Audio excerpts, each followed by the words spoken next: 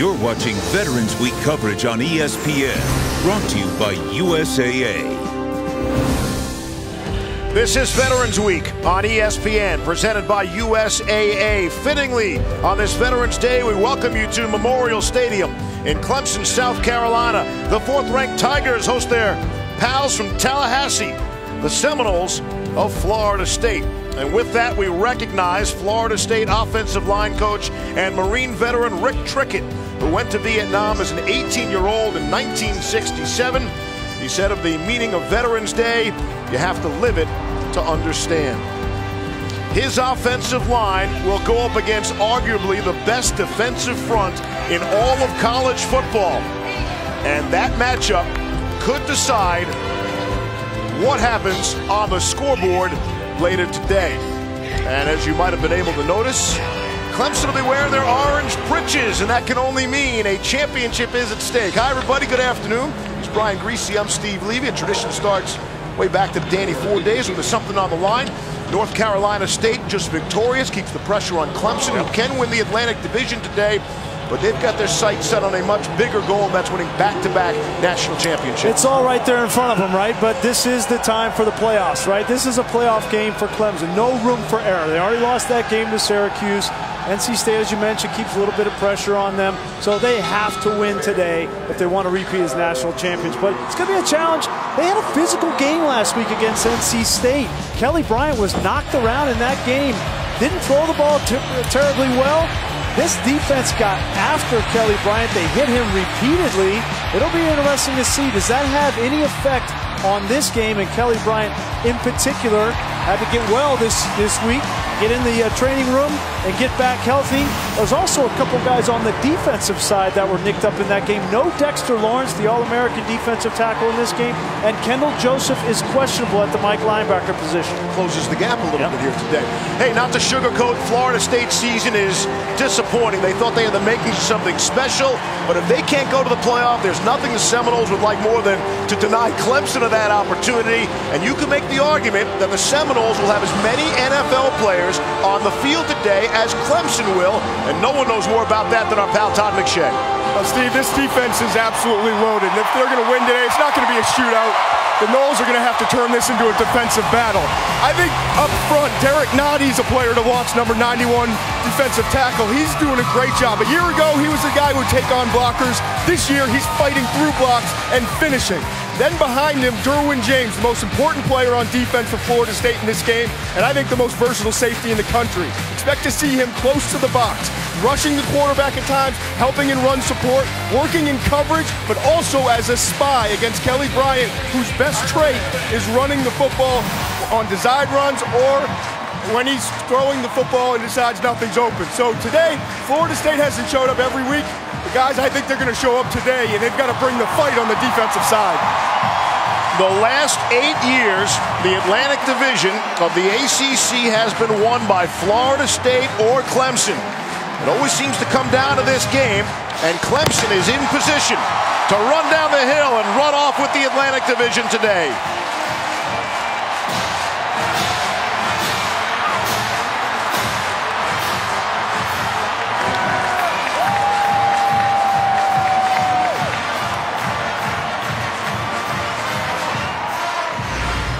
ESPN College Football. Brought to you by Koch Industries. Challenge accepted. AT&T. And Taco Bell's new crispy chicken quesadilla. A deliciously unexpected pairing.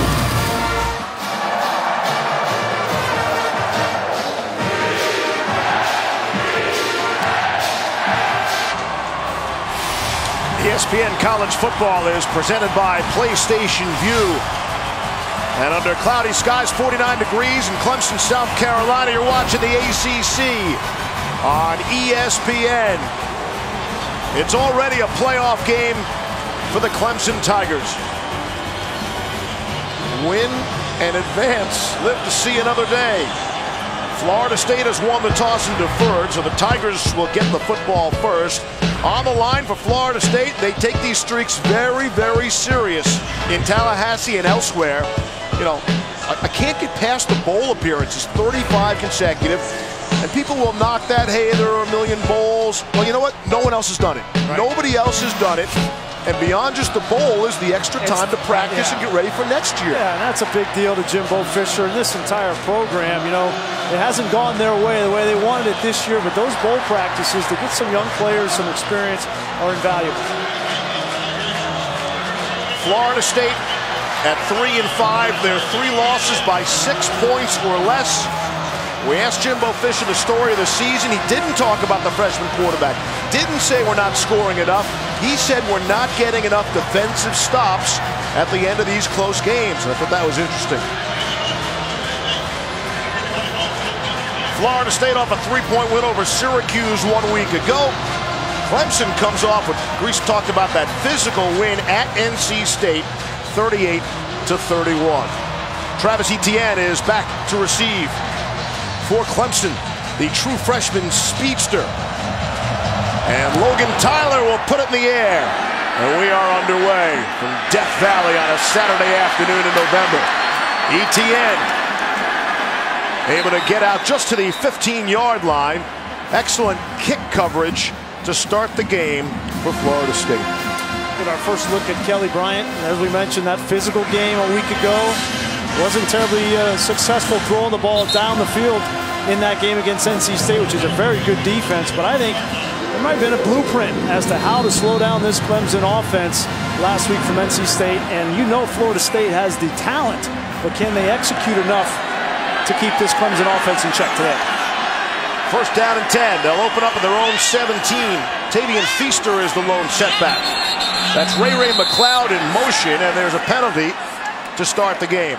Prior to the snap, ball start, offense number 76, five-yard penalty, first That's down. Sean Pollard, the right tackle. Time for today's Impact Players, brought to you by Jared, the Galleria of Jewelry.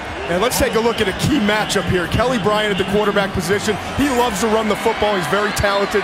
Derwin James at the safety position. We're going to see him a lot spying Bryant and close to the line of scrimmage. After the penalty, it's first and 15. Bryant comes out throwing and overthrowing Hunter Renfro.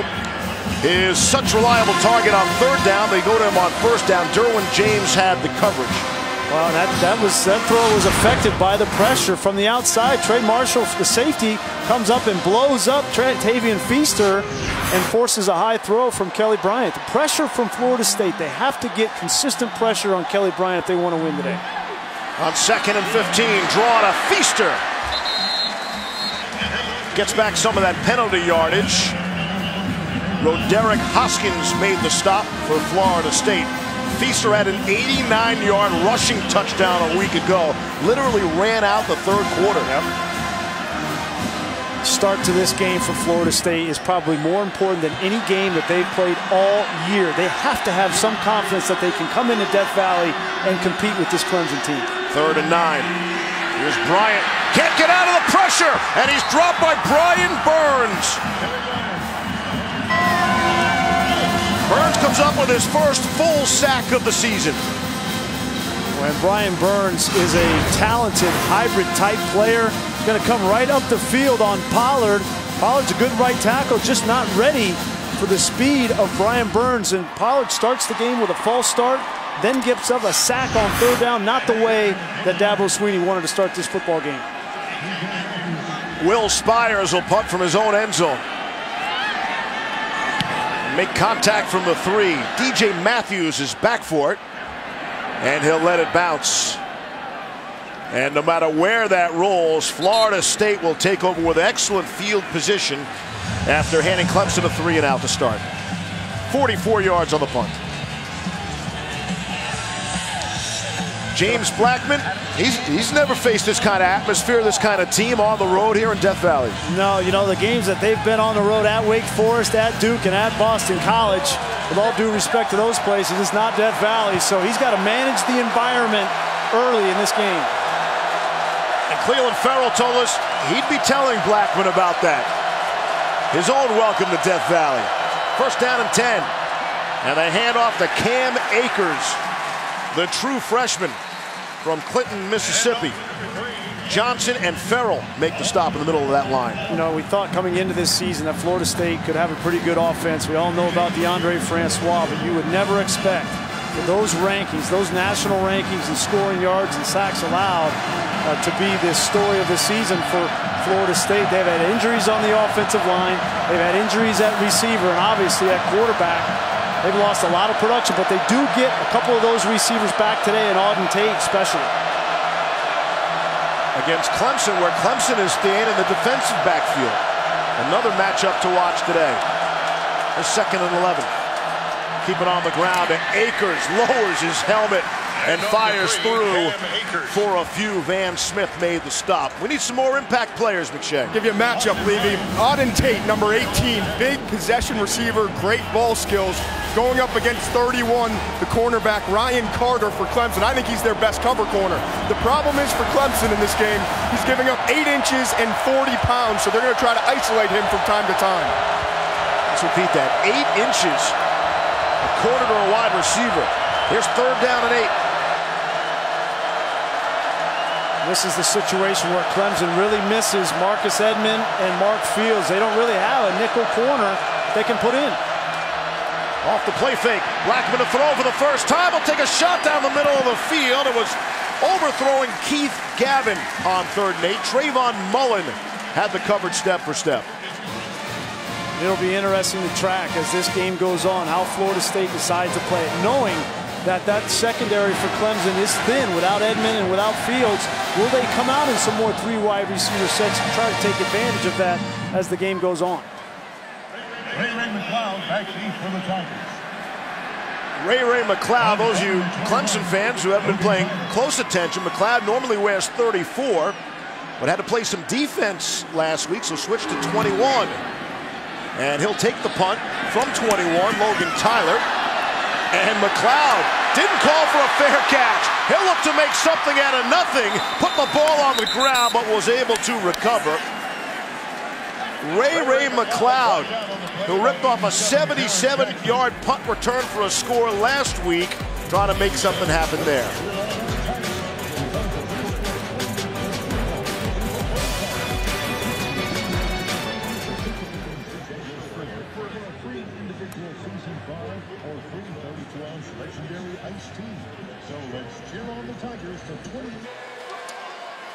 Tonight on ABC, the game everybody's been talking about all week long. Notre Dame, Miami.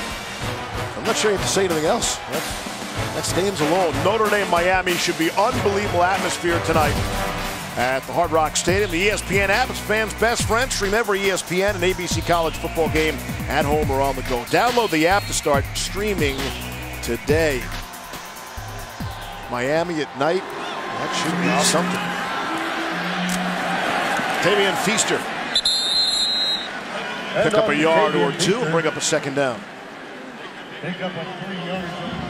I think for, for Clemson, the biggest, the goal number one in this game, I think, is getting Kelly Bryant back on track with these wide receivers in the passing game. We know he's he's been fantastic running the football, but to get where they want to go, to get to back to another national championship, they're going to have to be better throwing the football, and I think it starts today. Here's Bryant. Looks to get out of there on the run. Making plays with his legs. First down and plenty more. Just shy of midfield. First time this afternoon we say hello to our pal Adnan Virk.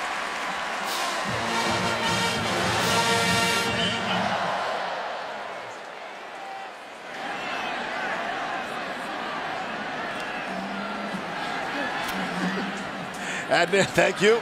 As Feaster again tries to push towards midfield. Derek Nnadi made the tackle. The senior, one of the leaders on that Florida State defense. A quiet leader, though. Yeah, you better get used to calling his name in this game, though. He is outstanding. I mean, coming into the year, we knew that he was going to be one of the stalwarts up front, along with DeMarcus Christmas. But Nnadi has continued to get better. I think he's one of the best defensive tackles in all of college football. That Bryant game for the first down was a run for 16. Bryant looks to his right and throws to Ray Ray McCloud. They set up the bubble screen, and they hold him up long enough, Derwin James did, to get another shot on him. Derwin James. From fellow cornerback Hamsah Nasirildeen, who got his first start the true freshman a week ago, gain a four. Brings up a big third down here. This is where Kelly Bryant, his, legs and ability to escape and scramble have been deadly this season. Florida State has to rush him, but they have to contain him while they do so. That's Renfro in motion, their go-to guy on third down. Bryant looking that way. And first down yardage. Hunter Renfro. You get Hunter Renfro, one of the best third round receivers in all of college football, matched up against a true freshman in Nasirildeen, and that's a mismatch.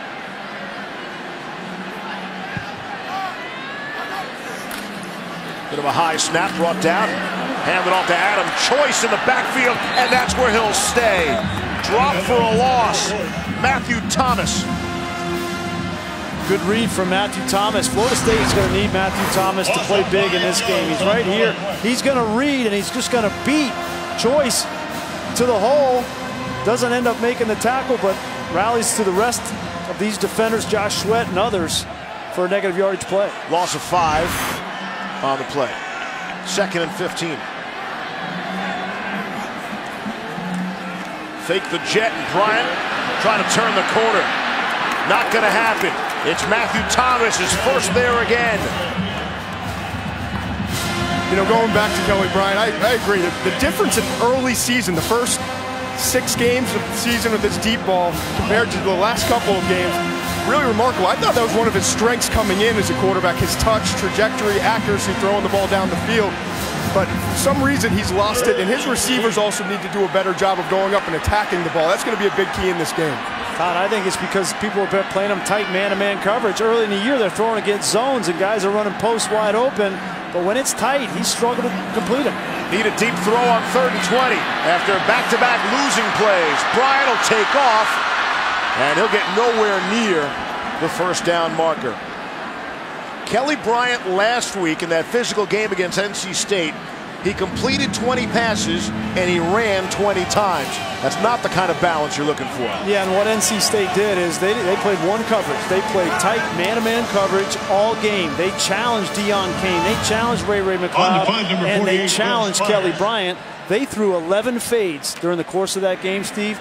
They did not complete one of them. They got a couple pass interference, but that's got to be something that they execute on and take advantage of as they go forward.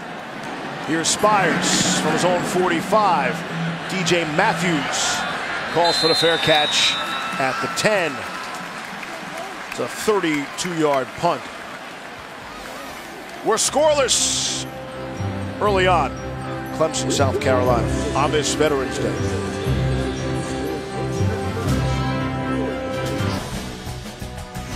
ESPN College Football is presented by PlayStation Vue. Watch the biggest moments in sports. Try it free today. And in part by Mercedes Benz. The best or nothing. Always fun to play the Where Were You When? How about 1988? Florida State, the Puntrooskie faked to oh, Leroy yeah. Butler, who ran 78 yards, setting up the game winning field goal. That's Jeff Scott, the co offensive coordinator. His dad, Brad, was the offensive coordinator. That was a tied game. And two minutes left. I mean, think of the, the, the guts, the guts to make that call. Awesome. Seminoles were ranked 10th. Tigers were ranked third in the country at that time, back in September of 1988. Second offensive possession for James Blackman. And the Seminoles down the middle of the field, overthrew his intended target, Auden Tate. Trayvon Mullen actually had a chance to intercept that ball. Well, Steve, we got to keep an eye on this Clemson defense. They're without their captain. You know, we talk about quarterbacks on offense. The quarterback of this defense has been Kendall Joseph, the Mike linebacker, all season long, and he's not in the game. He got hurt last week, hurt his knee last week in the, the NC State game, and I haven't seen him out there yet. J.D. Davis, who's a junior, number 33, right here is his replacement, looks like, for this game. Second down and 10.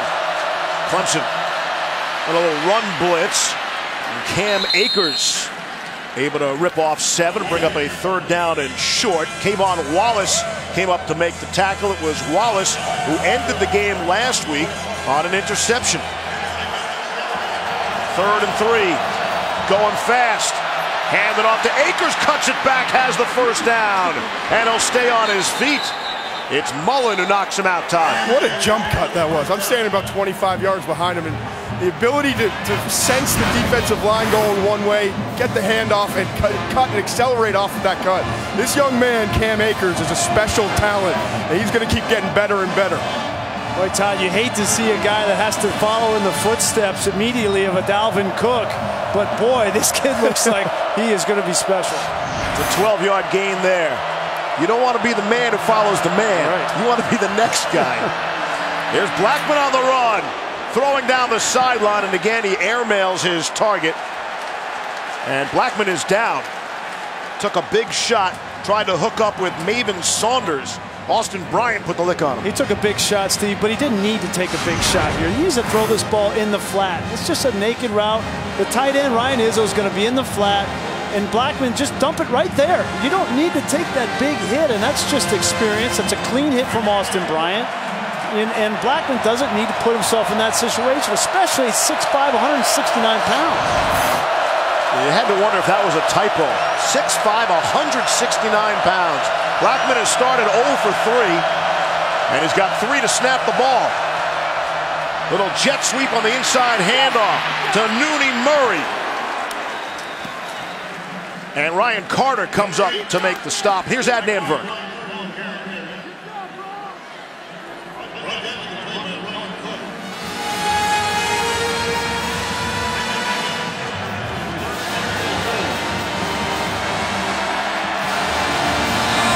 He's hot, huh? Josh Jackson?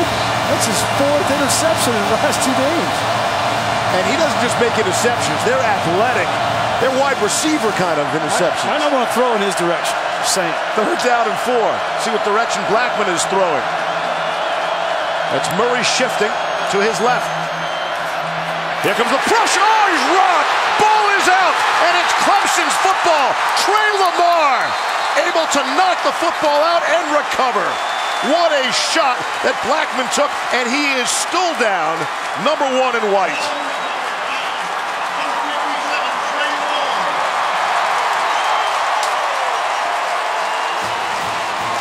See Deondre Francois. That looks eerily familiar to the last couple of years for Florida State, taking shots. But this is all on James Blackman. Here's the blitz right here. Akers makes a great block, but this is the quarterback. You have to know if you're protected or not. He had no idea, and Trey Lamar made him pay. If I'm Clemson, why wouldn't you continue to blitz a young quarterback like. James Blackman as a true freshman? And I credit Blackman. You know, you're saying get rid of it. That's not necessary. He's got guts. He's fearless. He's, he's not afraid. Just needs a little more intelligence. Yeah. A few more of those hits. He'll figure it out. Loss of 15 off the turnover now, the quick change. Bryant will throw and complete to the 15. Diondre Overton able to make the grab. His 10th catch of the season. Wait, how many Clemson receivers can they go to? They, they are stacked the wideout position. Second down and five from the 15. Handoff to Etienne. Down to the 12. Trey Marshall came up from his strong safety spot to make the tackle. Third down. And how many times has Florida State's defense been put in these bad situations on the season, right? They minus 10 in turnover margin. They put they've been put behind the eight ball time and time again. Can they rise up here and keep Clemson out of the end zone? Third and two. Richard, Richard shifting to the right. And Bryant will look to keep it. He has just enough for the first down. His forward progress will move the chains. First down, Tigers. First and goal. All right, and say what you want about Kelly Bryant throwing the football, and I think he's he's going to continue to grow in that area and get better. But you cannot question his toughness. We got two really tough quarterbacks in this game. But at the end of the NC State game last week, Kelly Bryant ran with toughness. That that jumped out on the tape watching him. And when the game's on the line in tight situations, they're going to have the ball in number two's hands. First down and goal from just inside the 10. It's Etienne for a couple. Bring up a second down. We talked to Bryant in practice on Thursday, and And I asked him about taking all those hits from a week ago. He says, no problem. I've always made plays with my legs. And he wants to keep doing that. And he is their leading rusher Yep. coming into the game today. which is the biggest difference from a year ago, quite honestly, because uh, Deshaun was more of a thrower. Second and goal. Here's Bryant rolling to his right. He'll tuck it. Try to make a move, take some people on, and crash down to the three. Roderick Hoskins might have gotten the worst of that collision. I think the biggest difference is is the want to. Sean Watson always wanted to be a pocket passer that could scramble and extend plays. Kelly Bryant's just as happy running as he is throwing. He wants to have that element, and it's been a big part of his success so far this season. Yeah, at 6'4", 220, why wouldn't he, right, Todd? Exactly. And do what you do best. And uh, you see what a physical presence he can be in a run game. Third and goal. That's McCloud in motion. They fake it to him. Bryant will keep it on the ground, and he'll get there. Touchdown.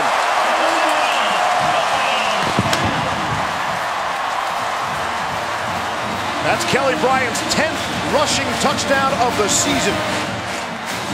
Clemson takes the lead.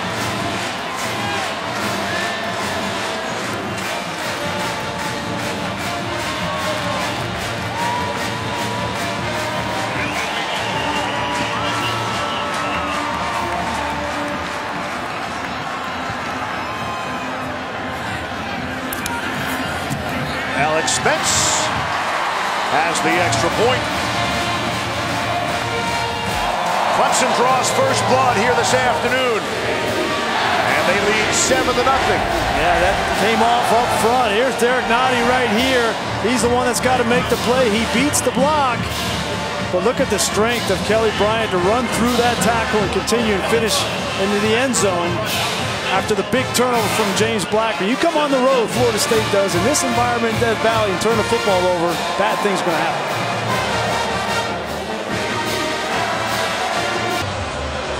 Back in Death Valley, 7 0, the home side. And Florida State will get the football. We'll check on their freshman quarterback. Here's Alex Spence off the tee. Spence, who kicked it out of bounds two times a week ago. Kicking has been an issue. Amir Rasul recovered and able to bring it out. We send it back to Adnan Virk.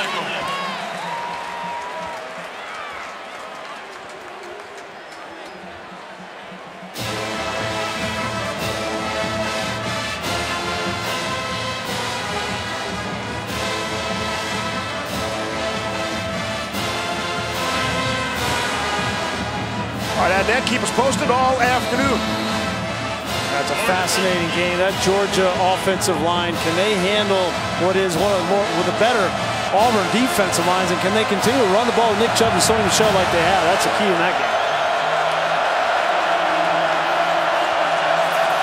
Florida State will try to keep James Blackman upright on this series. From the 14, they start on first and 10 with Cam Akers. And he'll sidestep one hit and be dropped down at the 19-yard line by Clelin Ferrell. We got to keep an eye on James Blackman. I think he opened the wrong way on that last play, and how, how much of an effect are these hits, hits going to have on him early in this game? We talked with Jimbo Fisher. He was a little bit concerned about his quarterback as a true freshman coming into this kind of environment in Death Valley against this defense and this defensive front. And it has not been a pretty start to the game for number one White.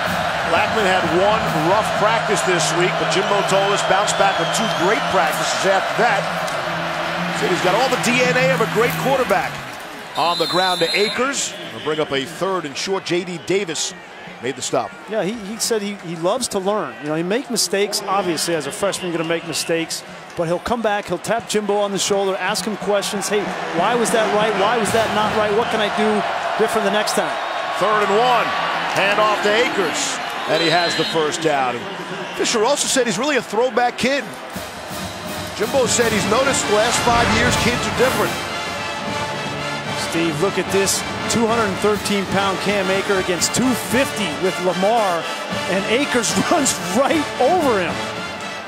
Wow, that was impressive on a third and short. And of course, it was Trey Lamar who got the big hit on Blackman last series. Jaquez Patrick checks in now for Florida State, along with the fullback Gabe Nabers. And Blackman to throw. Takes a shot down the middle of the field, and the outstretched fingertips of Keith Gavin, and he couldn't haul it in. Trayvon Mullen on the coverage.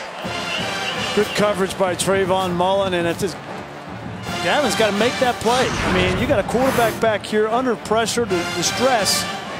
Mullen got that left arm in there at the very end. I think that prevented that reception. And Mullen, they are dependent on him. Obviously, with no Mark Fields and no Marcus Edmond, Mullen has had to step up and up to the task on that play.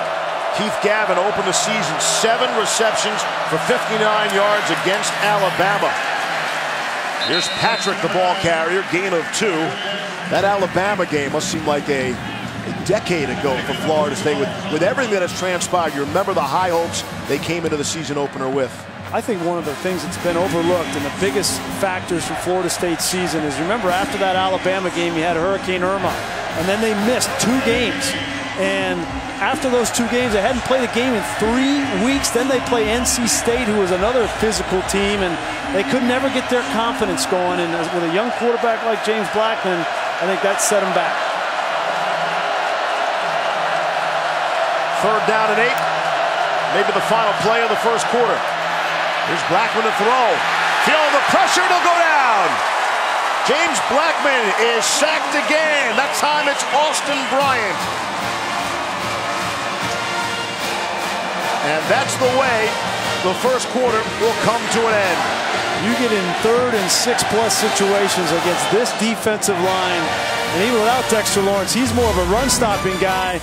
But Christian Wilkins, Austin Bryant, those guys are coming after you. And Jimbo Fisher knows it could be a long day.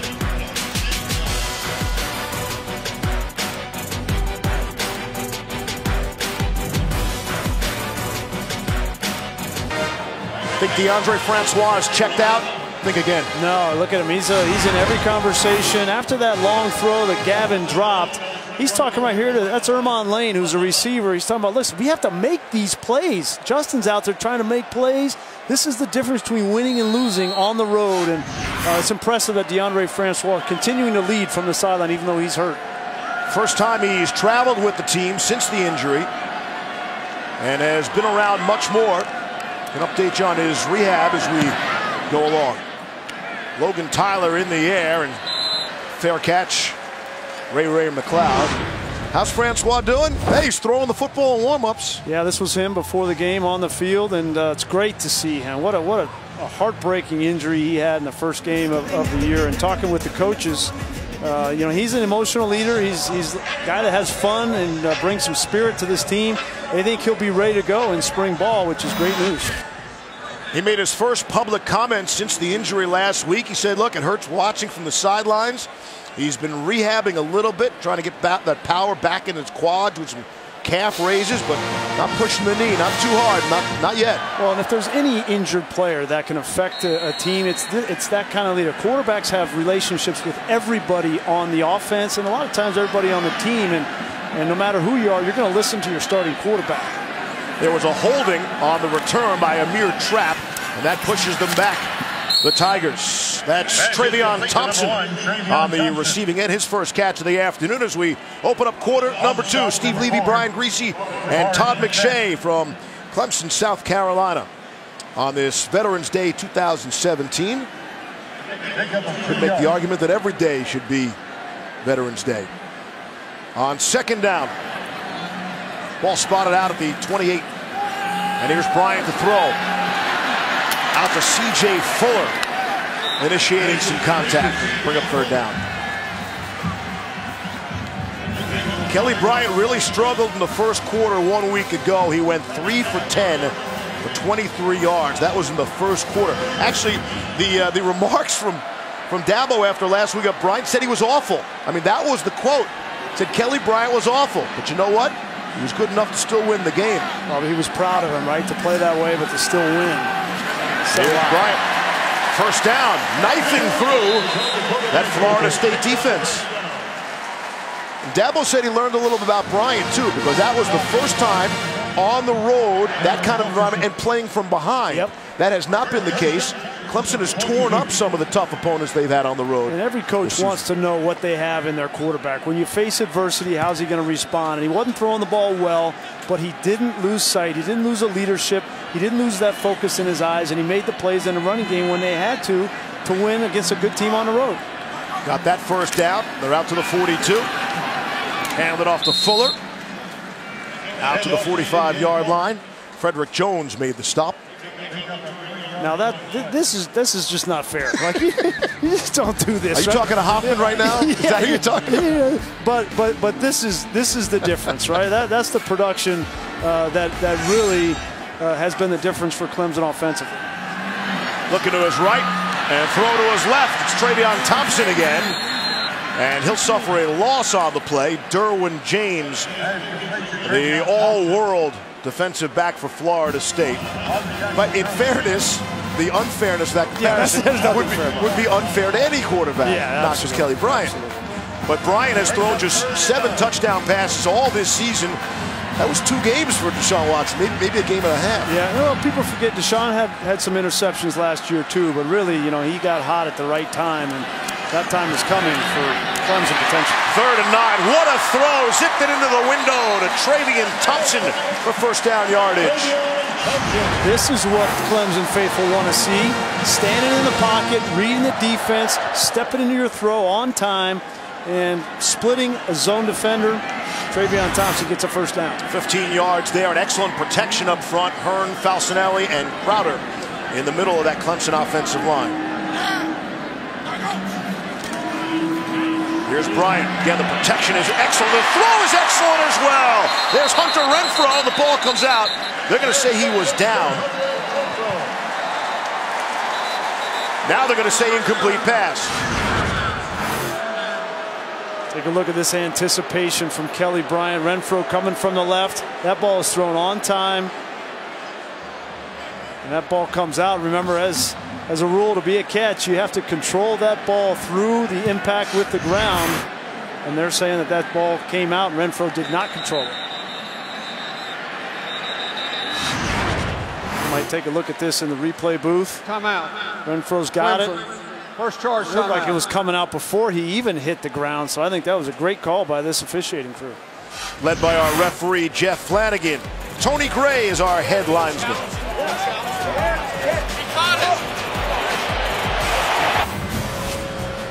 We're back. Nothing has changed. The call on the field was incomplete pass, and that's the way it'll stay. Yep, I think it was a good call by our officiating crew. And Hunter, that looked like that ball was coming out before he hit the ground, and the ball obviously came out after he hit the ground. Aflac! Time now for our Aflac trivia question. Who holds the record for most consecutive winning seasons in NCAA history? Florida State has what, 40?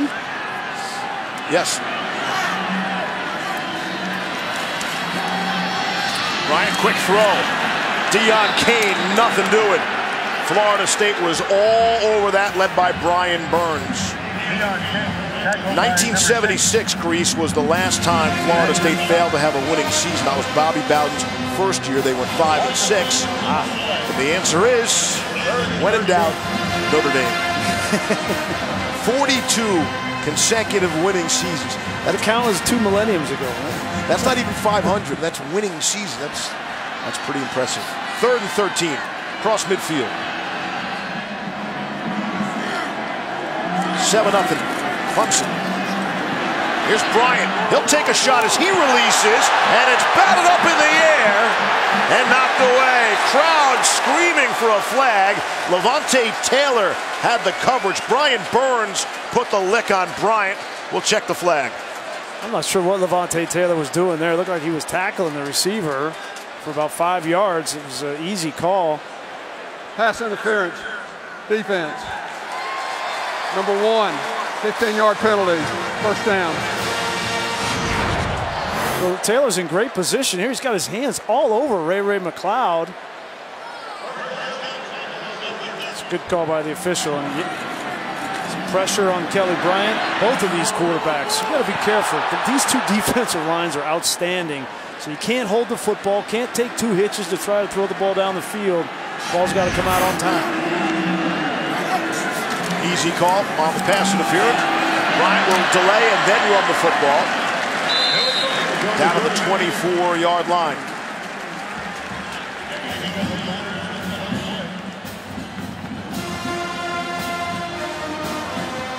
Offensive line for Clemson starting to get their footing. Mitch Hyatt, the uh, All-American left tackle, dinged up a little bit last week, but back ready. He's playing at a high level. Second and five. Bryant to throw and to complete to Deon Cain. And the same issues continue to haunt Florida State. The turnovers and penalties.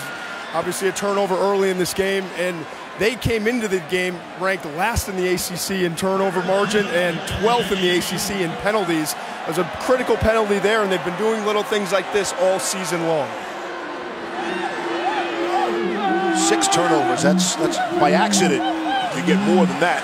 Here's Feaster, the ball carrier. And we talked to the Florida State coaching staff and especially their defense coordinator, Charles Kelly. He said, look, we've had three balls in our hands every single game, and for whatever reason, not been able to hang on to those interceptions or fumbles. Look at the difference from last year to this year. I mean, that's just, it's amazing. And uh, you don't just have a three and five season because you lose your quarterback to start the year. It has to be a complete meltdown from a team standpoint. Takeaways have certainly been a part of it. Second and seven. Bryant throwing. Amari Rogers receiving. Looks like he'll be just short of the first down. Third and about six inches. Amari Rogers, along with Tee Higgins, guys who really haven't been able to crack the lineup because they're so deep at wide receiver. A couple of five-star recruits coming out of high school. Well, you're going to see more and more of them. Rogers, you can't keep off the field. Higgins is, you know, he's a, a special talent that uh, Jeff Scott was telling us yesterday. They got to manufacture four or five touches for him. Third and one, the big spot. Of course, it's Bryant. He'll keep it has the first down. He crashes down inside the five-yard line. That's Bryant's 10th carry of the afternoon. And Clemson's going to protect any of that power inside run with some kind of a speed sweep element. That time it was Amari Rogers coming. You have to respect the perimeter game. 45 yards rushing. Bryant will look to add to that, trying to make some people miss. Stays on his feet. And in the end, he'll probably pick up a yard. Matthew Thomas and Brian Burns will bring him down. It's a big spot here. Florida State, obviously, on the ropes here. They go down two touchdowns with the, their struggles offensively almost seem insurmountable. You got to expect Kelly Bryant to keep the ball here in this situation. Second and goal. Ball came out. Fumble, and it's Florida State. Brian Burns able to knock it free from Tavien Feaster. And that's the turnover that they have not been able to recover all season, especially down at the three-yard line. And exactly why Charles Kelly was fired up on the sideline. We mentioned only six turnovers so far this year. Brian Burns, give him credit right off the edge. Anytime you have a zone read situation, you're forcing the quarterback to make this decision to give or pull, and you charge that mesh, you got a chance to get a turnover. DeMarcus Christmas recovers Seminoles football when we come back.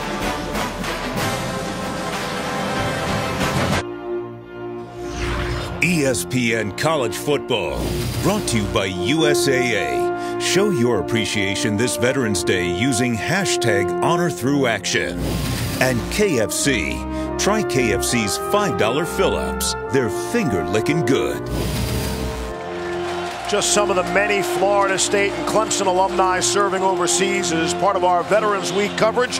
Presented by USAA, we salute all of our service members, both past and present. Cannot thank you enough. James Blackman in Florida State backed up.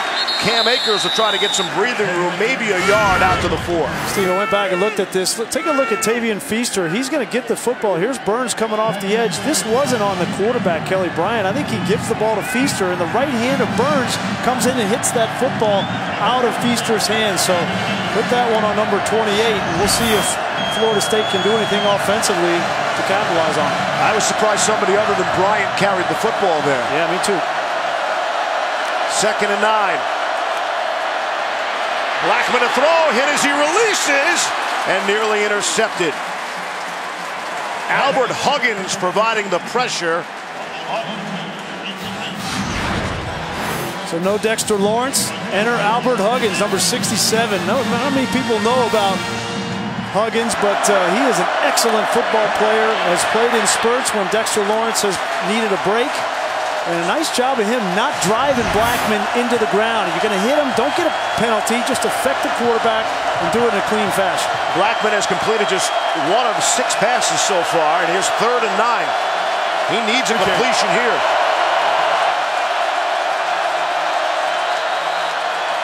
And with two to snap it, Timeout. Florida State. Seminoles have taken timeout. their first timeout. 7.42 to play in the first half. Florida State backed up, trailing by seven.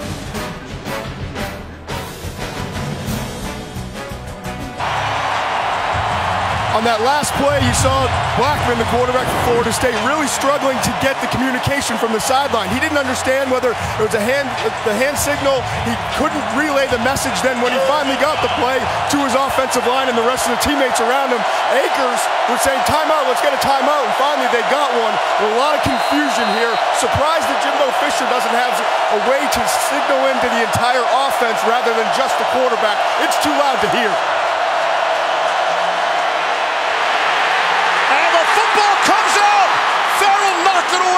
Recovered by Alec Eberle.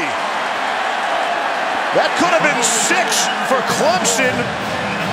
Instead, Florida State and Eberle amazingly able to come up with the football and to punt it out of there. Wow, so much going on here. First of all, I have no idea why Jimbo Fisher's trying to throw a seven-step drop out of his own end zone here against this rush. That's the first mistake.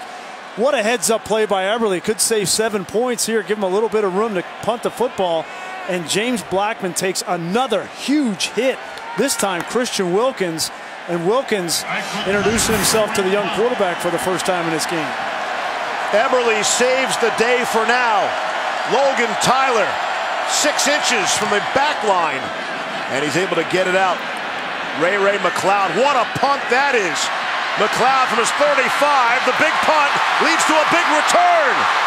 Here's Ray Ray McCloud down the sideline, and he's pushed out at the 26-yard line. Here's Adnan.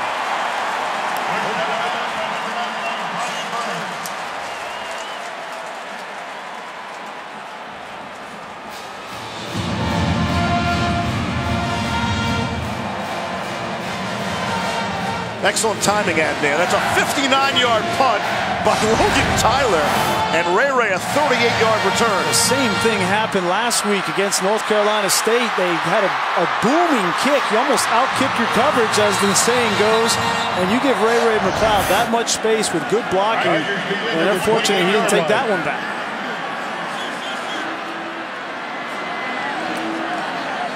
Kelly Bryant from the 28.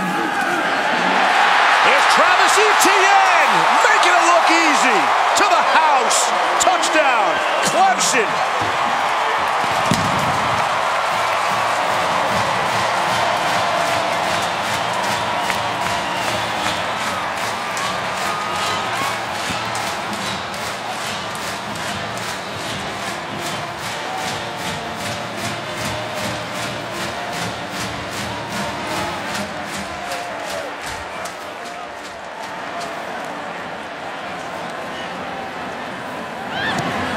Extra point on the way. So 28-yard score. Got to give it a, a heads up to this offensive line and the tight end. Here's Milan Richard. He's just going to come down. He gets the block, and they pull around with Hearn. This is just straight power football, Steve. And you get a guy like Etienne with that speed, that kind of a crease, and he's going to hit his head on the goalpost. Set up by the big punt return from Ray Ray McCloud. Is a proud partner of the College Football Playoff. Be on the lookout for Taco Bell student sections and passionate fans like these all season long. 14 nothing. Clemson. See if Florida State can get some kind of spark on a return. Amir Rasul and Keith Gavin are back deep.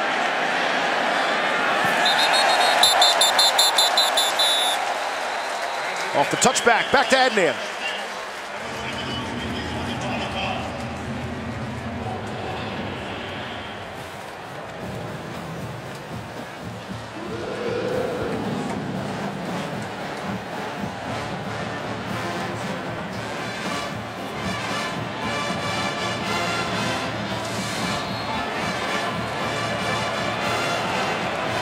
Adnan, thank you.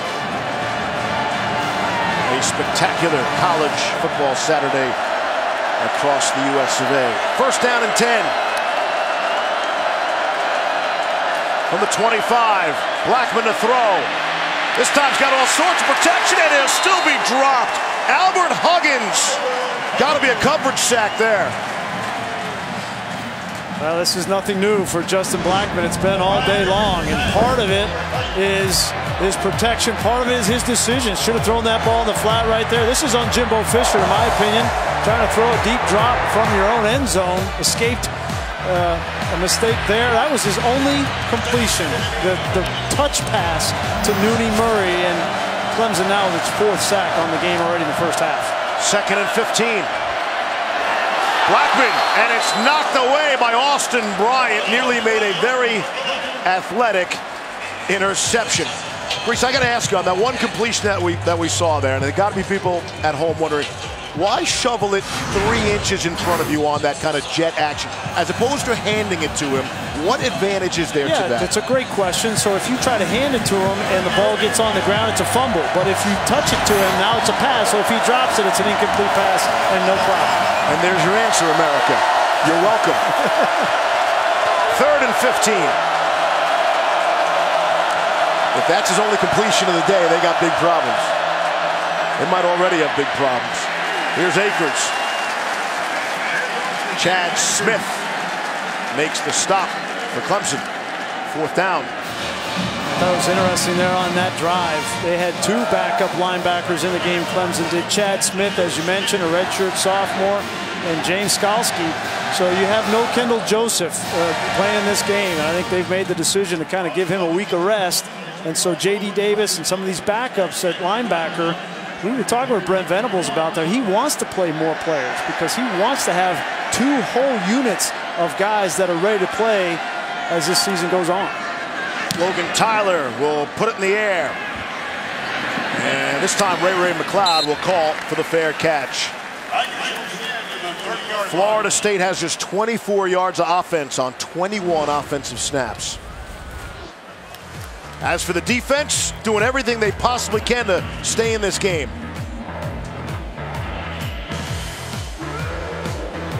Derek Nnadi, as we mentioned in the open, he, he, splits a double team right there. That's just an unbelievable amount of strength. And Todd, this this is a guy, I'm sure you got him on your board, but he's got to be rising up. He's rising. He really is. He's he's taken his game to another level. Last year, he was really good at just taking on blocks and allowing linebackers to make plays. He's having to make plays, and he's doing it this year. Great job using his hands, I think is the big difference from a year ago. Came up with a big sack on the final drive one week ago to cement that victory against Syracuse. Bryant will keep it and push forward for about a yard. And there is Derek Nnadi, as if he knew McShay was helping him rise up his big board. You just can't move him. I mean, he, he's so strong. He's 6'1", 310 pounds. And he's right here. He's always going to be right over the center, Falcinelli. And he just pushes him back, pushes him back with one arm. And where are you going to go if you're Kelly Bryant? I mean, it's, it's impressive. Second and nine. Here's Bryant out of the flat for Feaster. And bring up a third down. Matthew Thomas. Todd, I mentioned in the open, I think people would be surprised. You know, you think about Florida State's three and five record. You, they're probably the same number of NFL players on the field today as number four Clemson. They do, and that's the thing that's frustrating. And if you're a defender for Florida State, it's extra frustrating because talented and outside of that Boston College game, the effort has been really good. It's just when you're averaging 18.6 points a game and making mistakes on offense, it's really hard. Third and five. Here they come. Bryant will take a shot. Somebody got knocked down, and there was a flag on the play. Derek Nnadi administering the hit on Bryant. And we'll check the marker. Looked like the receiver might have gotten. Well, you had Stanford Samuel, the corner that was lined up in the slot, and, and you're right, the slot receiver went down. During the pass, personal foul, face mask number eight on the defense. The penalty is 15 yards from the previous spot. First down. That's Stanford Samuels, the true freshman from Pembroke Pines, Florida. Boy, what Todd was talking about, you know, the penalties, and that's hard. I mean, you're going up against Hunter Renfrow, one of the quickest receivers and most experienced receivers in all of college football. But, but this is this is where Florida State is. On a third down, they had Nasirildeen covering him, gave up a first down. It's two freshmen. Bryant fakes the pitch and a throw across the middle. Able to hook up with DJ Greenlee for a big completion. 32 to Greenlee. That might be his first catch of the season. There's Nasirildeen, another true freshman. Watch the reaction to the pitch. I mean, it's just one step, and that's all it takes for Greenlee to get down the middle of the field. On first down and 10, inside the 20, on the ground, Adam Choice. And he'll carry Derwin James for a few. You see it's the combination, right, of young players, penalties, turnovers. It's the same story for, for Florida State. And against a team like Clemson in this environment, uh, they could run you out of this stadium in a hurry if you're going to do those things. No, it's not just the quarterback. That's the easy, lazy narrative that that's the reason for all of Florida State's problems this season. First and goal upcoming as Clemson is looking for more. I don't think you're going to see any more of the zone reads here inside the 10-yard line. I think you're going to see straight handoff or you're going to see Kelly Bryant keeping the football.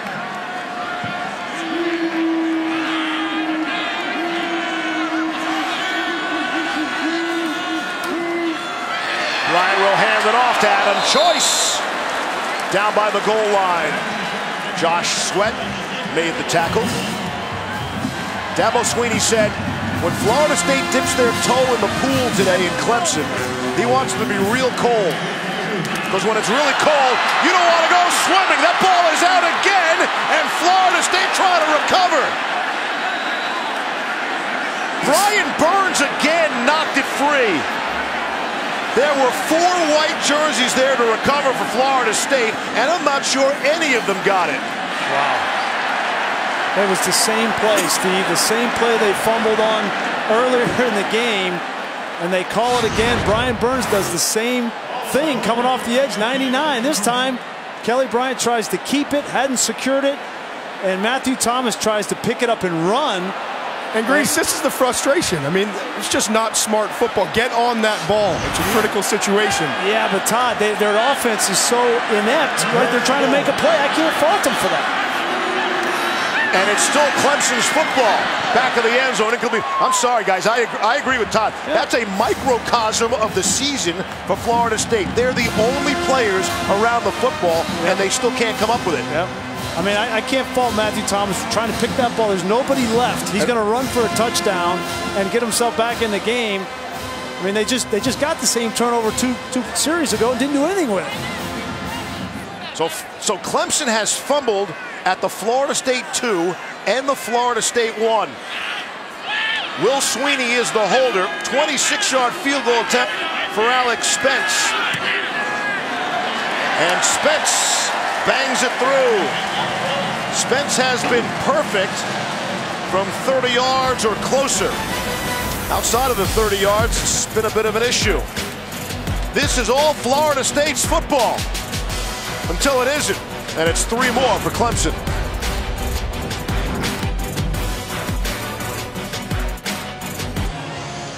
Coming up later here on ESPN, real showdown tonight. One of those seven top 25 matchups. Alabama on the road against Mississippi State. Coverage begins 7 Eastern. Streaming live on the ESPN app. And then Top Ranked Boxing is back tonight. Got two main events for you. The action starting at 10.30 Eastern. Right here on ESPN and on the ESPN app.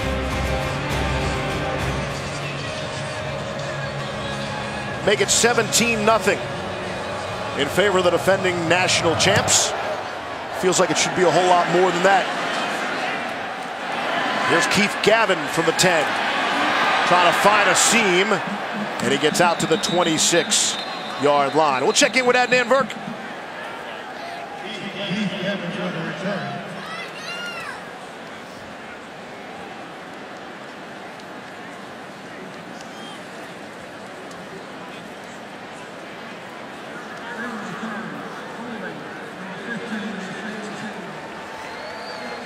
All right, we look forward to that. According to the Football Power Index, the FPI, Clemson had the hard, second hardest strength of schedule in all of college football. Would you be surprised to learn that, that Florida State had the single toughest schedule? I think it's a product of how good the uh, ACC is this year, right? The Pac-12 has been down. You could argue that the Big Ten has been down a little bit, uh, but certainly the ACC with teams like NC State, even Wake Forest, BC, they've all been really good. First down and 10. After the penalty on the return, backs him up. Here's Blackman, who is not much of a running quarterback. He'll run out and pick up six. Got to get something here if you're Florida State. Last two minutes of the first half, it's been really ugly. But if you could salvage something here, you got to get some kind of momentum if you want to stay in this game. Second down and four. Blackman the pump. Now he'll release and complete to Keith Gavin. And if I'm Brent Venables, I am not going to just sit back and allow this young quarterback to get any kind of rhythm. I'm going to keep the pressure on, continue to blitz, continue to hit him in the backfield. First down and 10. Here's the pressure. Blackman with people coming at him, throwing and completing. So finally, back-to-back -back completions. Back-to-back -back true completions. His only completions of the first half. Yeah. Florida State will take a timeout with 46 seconds left in the half.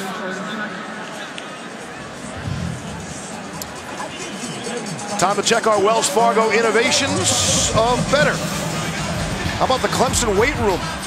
Home to the DXA, this machine, one of only six in the whole country, is designed to assess the athlete's body mass composition, revealing their exact percentage of fat, muscle, and bone density. That allows the trainers to tailor their workout and nutrition programs. I'm so glad they didn't have this yes. when I was in school. I'm, so, I'm so glad they didn't ask us to do that this week. So it, this thing tells yeah. you what you should eat yeah. afterwards, right? Pizza? I, I, asked about pizza and beer, and they said uh, that they haven't offered that up yet. They frown. They said salads for you, McShay. Pizza and beer. And light Italian dressing, McShay. None of that blue cheese stuff. Yeah, yeah. Second and three. Here's Blackman. Take a shot, why not? Down the field, and it's a jump ball. And Auden Tate will win a lot of those jump balls at 6'5", but not that time. Ryan Carter at 5'9", was in perfect position. Yeah, Ryan Carter, great job, in good position, but more important than that, he had his eyes back to the quarterback, so he knew when to play the ball, and you don't pass interfere when you're looking back to the quarterback. That's as good as you can do it from Ryan Carter. That was the mismatch that McShay highlighted earlier. Yep. Kind of surprised they don't try that more often. It's a matter of protection as well for the quarterback. Third and three. Here's Clemson bringing some people, and it's batted down at the line of scrimmage. Dorian O'Daniel got his hands on it. 36 seconds left in the half. You know, we haven't mentioned Dorian O'Daniel's name much, but he is an unheralded piece of this defense for Brent Venables and Clemson. He's got five sacks, 10 tackles for loss, two interceptions, and he's the second leading tackler on the team. I mean, he does it all for Clemson. Both of those interceptions were pick sixes. He's the first Clemson linebacker ever to have two pick sixes in the same season. Ran one back 44 yards against Louisville, 22 yards against Virginia Tech. Out. Florida State, third. Final charge timeout. 30 second timeout. We'll stay here with Florida State taking their last timeout. Dabo's got to be uh, overall pretty happy with this first half. Certainly the two turnovers on mesh plays uh, inside the five-yard line he's not going to be happy with, but he knew coming in this was a championship opportunity, champion uh, opportunity for them to take the Atlantic and that Florida State had talent and didn't know how they were going to show up, but certainly Clemson has handled its business in the first half. We will hear from Dabo with Todd McShay coming up at halftime. Talked about you know, Florida State dipping their toe in the water. If it's warm early on, they might want to have a pool party. but as he said, he wants to make sure Clemson kept the pool cold and that Florida State wanted no part of that. I think if Dabo is happy with the first half, he might not sell that to McShay. He might focus on the turnovers, and they should be having a much, much bigger lead. Renfrow let it bounce. And it takes an excellent Florida State bounce. Back and take a look at the first half of the quarterback of this Clemson Tiger team. Kelly Bryant getting that ball out of his hand pretty quick. And I think that's a good recipe against the front uh, for Florida State that's good rushing the passer. The quick passing game is a good strategy. And if uh, Kelly Bryant keeps getting hit, get rid of it, get out of your hand. That's the one of the best ways to neutralize a, a good pass rush. You can use your snap count, misdirection, screen game, and the last one, probably the, the one that's used the least, is the quick game. Officially, that'll go as a 47-yard punt, benefiting from the long roll. Maybe the best news for Florida State about that first half is they'll get the football to start the third quarter. Halftime here at Death Valley, 17-0 Clemson. Step aside, send you back to Adnan, Joey, and Jesse in our studio.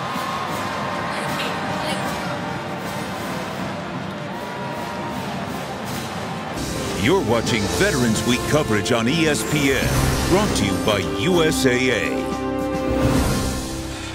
Indeed, you're watching ESPN College Football presented by PlayStation Vue as part of our Veterans Week on ESPN, brought to you by USSA.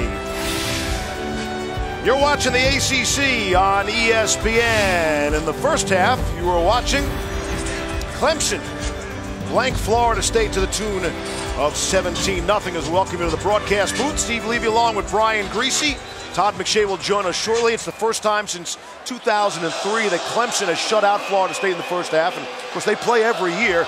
They held the Seminoles to 46 yards of offense in that first half. Yeah, and really, it's been their front seven. And the pressure on James Blackman, he was hit seven times, four sacks. And it's hard to play quarterback when you're getting hit like this. This was the first fumble turnover of the game. Doesn't see Trey Lamar, doesn't see the defense, takes a big hit. Austin Bryant with great effort, just fighting to the quarterback. James Blackman holding the ball. You can't hold it against this defense. And then Clelin Ferrell in his own end zone trying to throw this ball out on a big third down, and he's lucky that they got the ball back here. But you can't play quarterback under those kind of conditions. You see the hits, you see the sacks, and that's been the difference in the game. As you look at our first half stats, brought to you by Hooters. I have a second half statistic. Would you be surprised to know that Florida State has not scored a third quarter touchdown all season long? I don't think I am that surprised, to be totally honest with you. All right, we'll see what else I have. We'll see if I have something okay. else I can surprise you with. Florida State will open with the football. They'll start out at their own 25-yard line to open up quarter number three. With the fourth-ranked Tigers up 17 to nothing. Todd McShay. Uh, I'm just curious because we saw on tape, Brian, a lot of times when Florida State was using max protection, two tight ends, bunch sets. I'm surprised that they came out in this game against a defense that can get so much pressure on your quarterback and, and haven't used more of those. Yeah, you got to you have to neutralize the, the pressure up front from Clemson defensively, whether that's with the screen game, which is another big surprise to me, Todd. They haven't used the screen at all. One of the best ways to neutralize a pass rush. So I expect Jimbo Fisher to make those adjustments. First down and 10 from the 25. Here's Blackman to come out throwing and completing. Able to hit Auden Tate, and he'll stay on his feet and have first down yardage. Tate able to make J.D. Davis miss, and this feels like a big possession in how the rest of this game will go. Well, I could imagine, you know, the, the message from Jimbo Fisher in the locker room at halftime is, you know, you have to find your why. He told us that yesterday. Our team has to find their why. Why do you play? Why are you going to go out there and lay it on the line for your for your team, right? You, you don't you don't have a, a championship to go to, but you have pride here in the second half. And if they don't come out with their best game here in the second half, they're going to get run out of the stadium. Just the fourth first down for the Seminoles in the game. Tate had his first reception, and now it's a second completion in a row to Cam Akers, but he'll lose on the play. And there is a flag down. If they're going to get Clelin Ferrell for a late hit on the quarterback. Personal foul, roughing the passer, number 99 defense. 15-yard penalty. First down protect the quarterback. And, you know, sometimes these defensive line, they, they smell blood in the water and they want to get in the backfield. And that, I think that, that could have been a no call there. That was a continuation to me of a pass rush. Clelin Ferrell's one of those personality players on that Clemson defense. He's the only player in the country to have five tackles for losses in more than one game. You see his sleeve there. He writes uh, motivational uh, things on his sleeve. He's, he's telling us yesterday, I don't have any tattoos. I couldn't really get to pull the trigger on the tattoo, so I just write messages to myself on my sleeve. It's a good idea. Dream with me, baby. Incomplete. Blackman airmailed that one. And it's good. And the upside of not getting the tattoo is you can change it every week. Absolutely. Yeah, the dream with me, baby. You see that right there. That's uh, you know he's from Richmond, Virginia, and he felt like he's living his inspiration to uh, a lot of young kids that growing up in Richmond. It's a tough place to grow up, and wants them to feel a part of where he's going. He's the youngest of nine. His brothers named Marky, Ricky, Danny, Terry, Mikey, Davey, Timmy, Tommy, Joey, Oh, Robbie, Johnny, and Brian. Okay, we got it. Uh, maybe he has some sisters. Maybe those aren't their names. But he is the youngest of nine. First time across midfield for Florida State. And they're going the wrong way. And now they're on their own side of the field. Clelin Ferrell with the tackle. As talented as Cam Akers is, and he's talented, he's going to have a great career at Florida State. But he's not getting the, the supporting cast up front. This offensive line has been overmatched for Florida State in this game.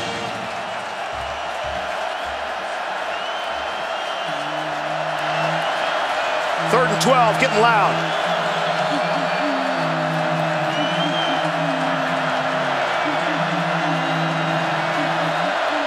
That's Patrick in the backfield now, to the left of Blackman. Picked up the wrong man, still able to complete. Nooney Murray. That throw was on the money. And Blackman will pick himself up off the turf. Again, it was Clelin Ferrell on the hit on the quarterback. You see clearly that Ferrell comes from his end position, and this is as tough as it gets. That, that is not a good feeling at all. but you know what? This is what you build leadership off of, toughness. And James Blackman has taken some huge hits early in this game. And for him to stand in there and continue to deliver, he's got my respect. 18-yard gain. That's the longest play from scrimmage for Florida State. Handoff to Jacquez Patrick. And he'll suffer a loss on the play. Christian Wilkins comes up to make the tackle. Wilkins is a guy who last year was on the outside, had all those gaudy stats. He's moved inside now. His numbers have taken a hit, but people who know know all they need to about Christian Wilkins. Yeah, you know what about Christian Wilkins on the field. Off the field is what really impresses me. He is the unquestioned leader, not just of this defense, but of this team. He has that personality, but he also has the leadership, and he's the total package. Second and 12 to 35. Blackman able to complete to Murray. And they're just short of the first down. Be a third and short. And you see this confidence for James Blackman on this drive alone, right? Starting to, to burgeon. And I think Jimbo Fisher's made the right adjustments at half. Get the ball out of your hand quick.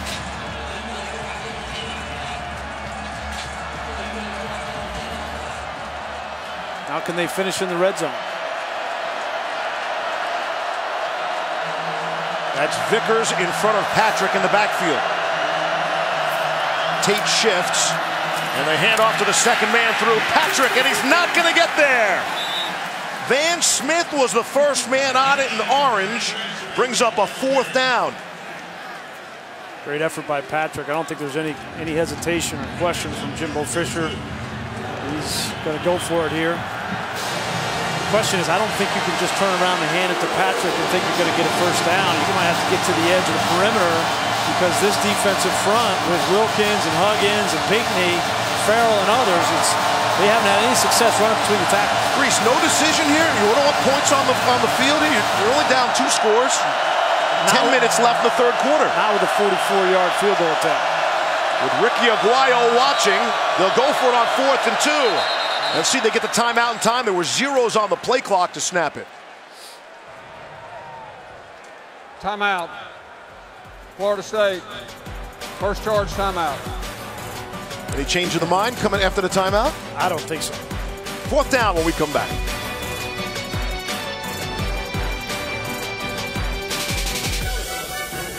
Another capacity crowd here in Death Valley, Clemson, South Carolina. 17 nothing Tigers. Little pushback by Florida State here to open up the third quarter. This was that uh, fourth down. They got to play in a little bit late. Jimbo Fisher's telling him to go. You see him on the sideline, and they never got the uh, the play in before the play clock went off. And now Timeout. Clemson's going to take a timeout. Clemson, first charge timeout. Back-to-back timeouts. See at the end here, there was a blitz coming, and Jimbo, you can see him pointing at the clock. Hey, you got to look at the clock. And you know, James Blackman's a true freshman, and he's got a lot going on. He's trying to diagnose blitzes and pressures, and if you get the play in late to a true freshman, and that, that kind of stuff's going to happen. So Jimbo's got to be quicker, but Blackman also needs to be more aware of the play clock. I am aware that Adnan needs our attention right now.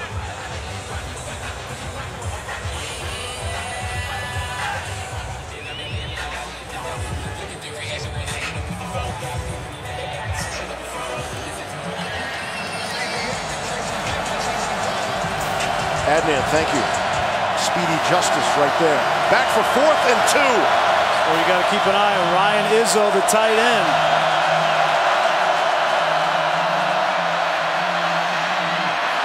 Gonna throw for it. It was wide open.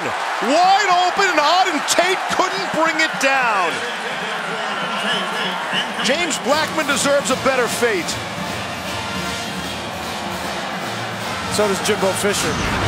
At the timeout, you got the play that you wanted. Perfect play call, off of play action. Not, this is not just a first down. This should be a touchdown, Steve. And yeah, the ball's out there a little bit, but I mean, Auden Tate, you got to lay out for that ball, right? Whatever you got to do to get your body in position to make that play. And this has uh, been Florida State's MO all year, just a little bit short.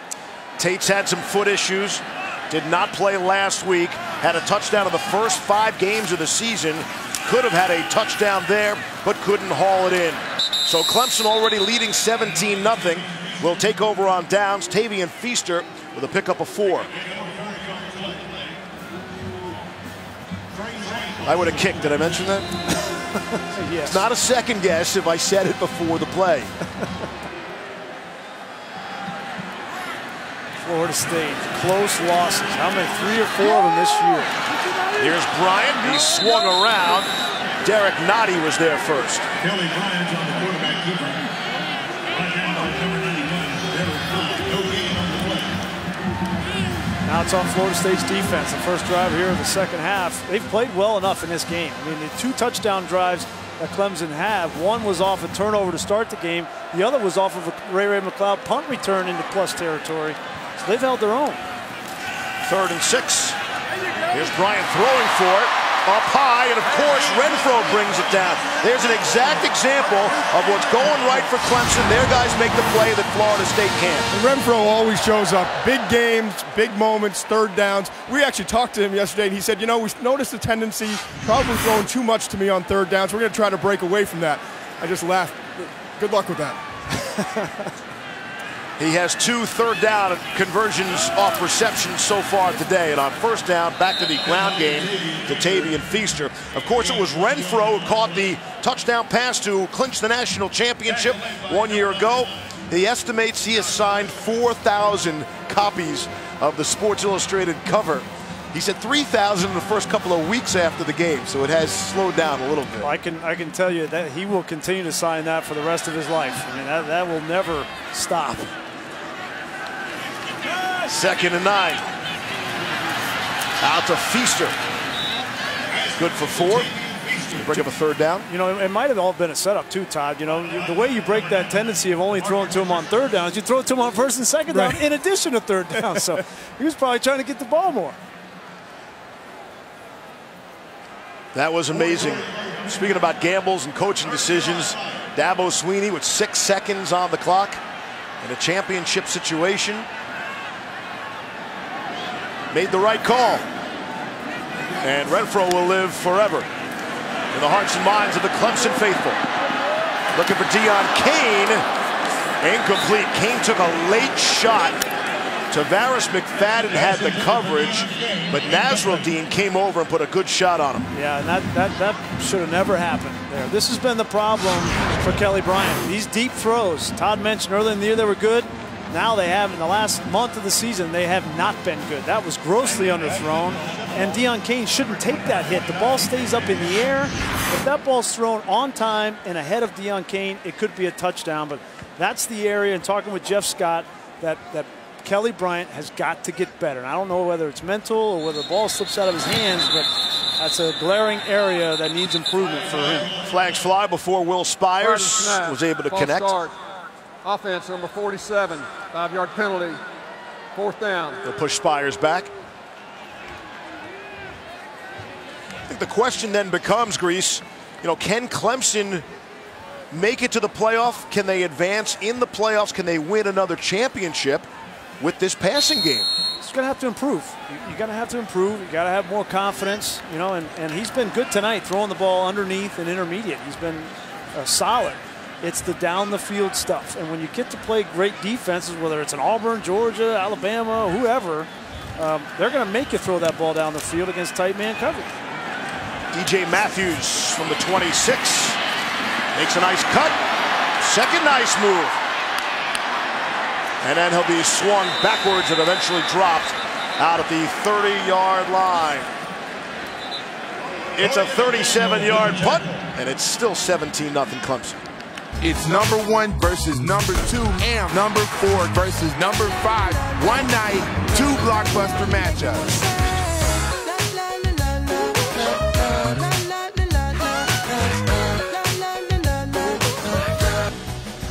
ESPN College Football.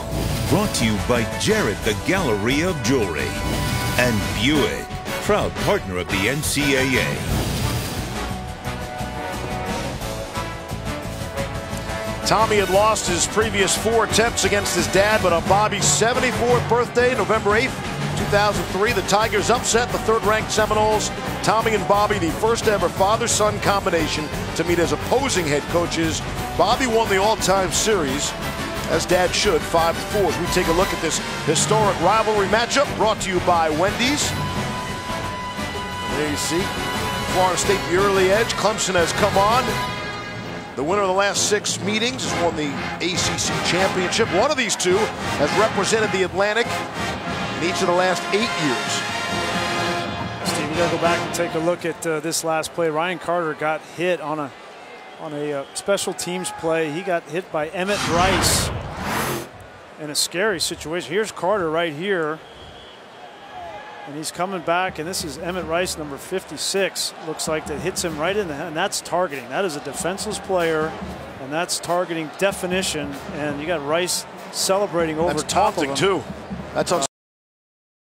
And that's that's a frustration thing from Rice. You're down 17 nothing, and to take a shot at a guy like that. Now Ryan Carter's a starting corner for Clemson. They already are without Marcus Edmond and Mark Fields, so very thin coming into this game at the corner position, and that, that looked like it could have taken Ryan Carter out of this game. No place in the game for that play right there.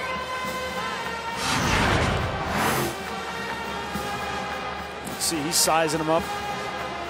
Yeah, he's got ill, ill intentions the whole way. And then if, if that wasn't bad enough to then taunt on top of it.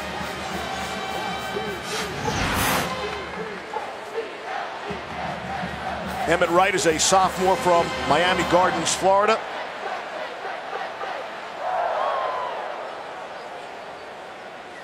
And we might have seen the last of Mr. Rice this afternoon. And he's over there smiling. There's nothing to smile about. During the play, there was a personal foul targeting number 56 on the receiving team. The penalty occurred at the 31-yard line. Penalty being enforced 15 yards from the 31-yard line. Florida State will keep the ball. Number 56 is ejected.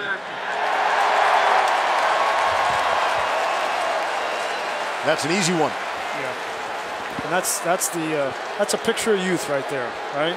You make a mistake, you hurt your team, potentially hurt another opponent, and you walk off the field smiling like it's no big deal. And that's a that's a leadership issue and a youthful issue, and that's a that's a disappointment in my eyes. In, in a game you're already losing 17 to nothing. Yeah, a lot of growing up to do for him.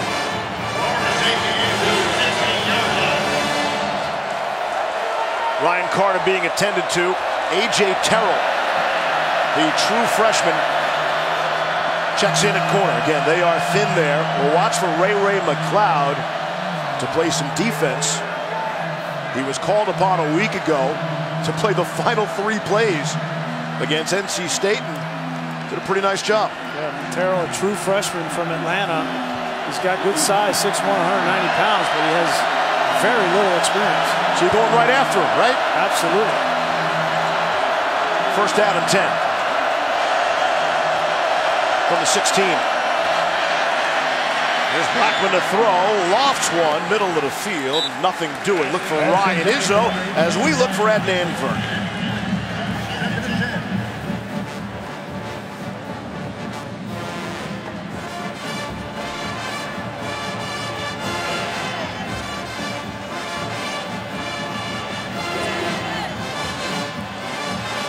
How soon before they make him a wide receiver? Stop throwing the Got ball to Josh Jackson. People, pay attention. Dr. Griese is speaking. Second and 10. Blackman to throw again. Lofts one, he'll just throw that one away. Wasn't under that much pressure that time. Nobody open. And I, I, think, you know, certainly you see the starting corner goes out and you put Samuel in. He's outside the tackle, therefore an incomplete pass. Dabo thinks he was inside the pocket, certainly doesn't agree with that call. But you think you put you put Samuel in a true freshman, and, and Brent Venables is no dummy. He says, well, they're probably going to try to throw the ball. Well, why don't I play two deep defense, protect him, the problem is right now Jimbo Fisher's abandoned the run game. Cam Akers is your best player, and they haven't given the ball. And really, it's only 17 yeah. nothing.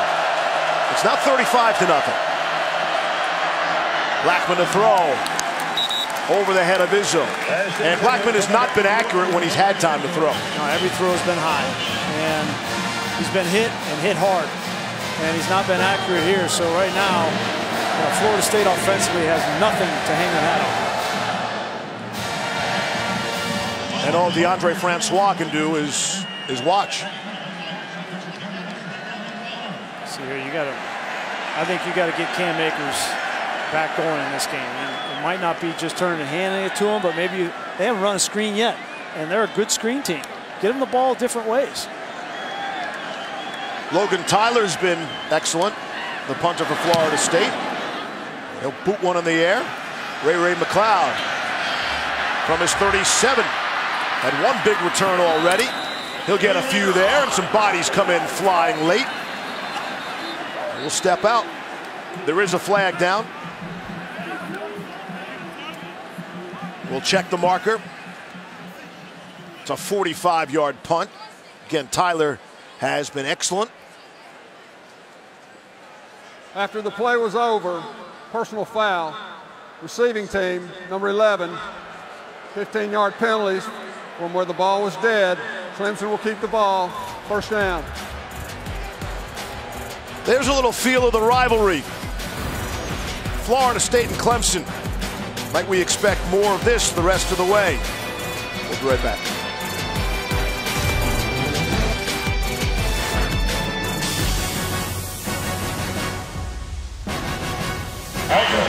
Allstate is proud to be part of the team that comes together to do good by contributing to participating universities' general scholarship funds for each field goal and extra point kick. To date, Allstate has contributed millions in scholarship funds.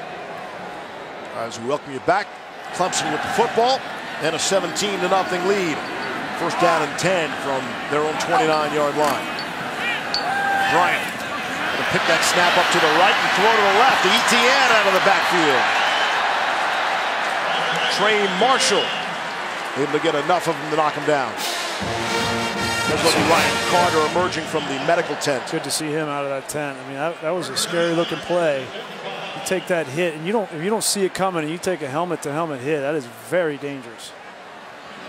out of the 45. Etienne again, that time just for three yards. Bring up a third down. You can see they took his helmet away, which means he's not going back in this football game.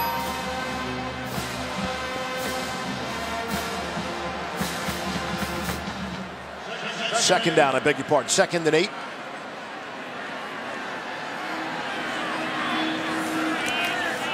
Etienne stays in the block, so Bryant can throw and complete to Tee Higgins for the first down.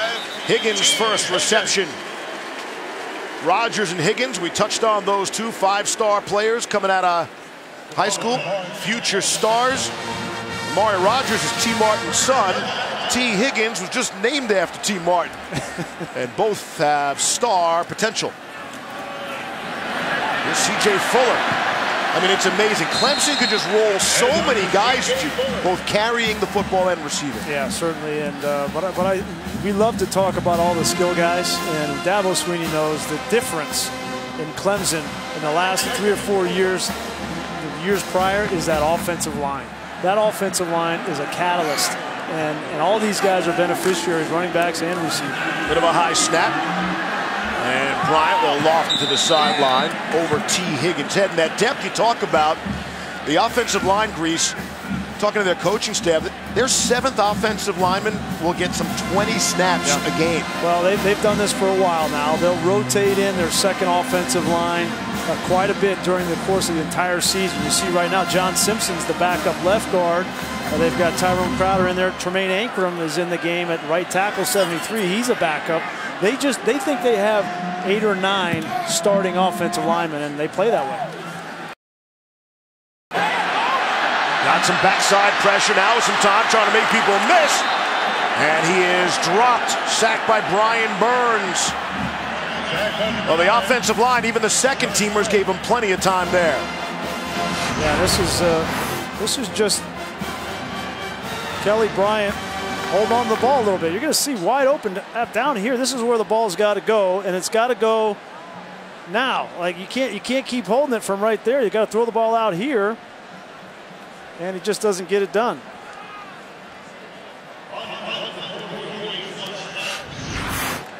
I think you know we've seen him struggle to throw the ball down the field, and, and last week against NC State he struggled. Uh, tonight he's struggling. And when you see a guy open like that and you don't pull the trigger, you start to wonder about his confidence throwing it down the field. Will Spiers gets it away. Fair catch at the 10-yard line. Take a look back with our Buick Drive recap. This is the Ray Ray McCloud punt return in the first half, which set up Clemson for their second touchdown. And then they just open the gates here. They got a great block from the tight end, Chard. And Travis Etienne gets to the end zone. That was a great view, too, like he was yeah. running right into your living room. I'll put you in the cleats of a safety trying to get, get him on the ground. I'm good up here, thank you. First down and 10. See what the resistance Florida State has to offer here. Blackman comes out firing. Again, it's high, but this time Tate is able to bring that one down, bring up a second and short. It's almost like a pitcher. You know, when a pitcher gets rattled a little bit, you know, they'll be inaccurate and throw high. And in pitching, you get taken out of the ballpark. But as a quarterback, you know, once you get that uh, that ball high, now you're exposing all your, your receivers to shots from defenders in the ribs or going overthrowing balls that could be intercepted.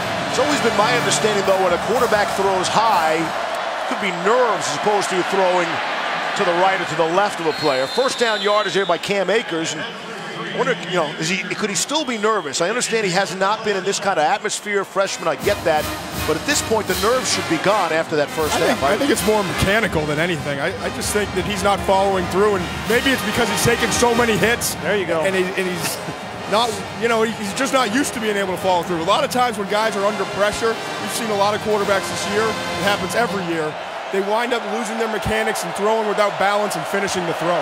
Yeah, mechanics went out the window after the first five times he got drilled. Save yourself. First down and 10. Give it to Akers. 11 carries, 42 yards going into that. That'll be a loss. Albert Huggins led the way. You know, when you get hit as a quarterback, it, you start to wonder if you can step into a throw because the guys are in your face. And when you don't see how he stepped behind himself there with his left foot, when you can't step confidently and stride into your throw, that's when the ball goes high. And that's what's been consistent in the second half for Blackman. Ninth Clemson tackle for loss. And again, if you're just joining us, you see James Blackman, you saw right. 6'5", 169 pounds. And he's skinnier on the field when you're standing right next to him than Timeout. he even looks on Florida TV. Second charge timeout. Three minutes left here in the third quarter. It's all Clemson to this point.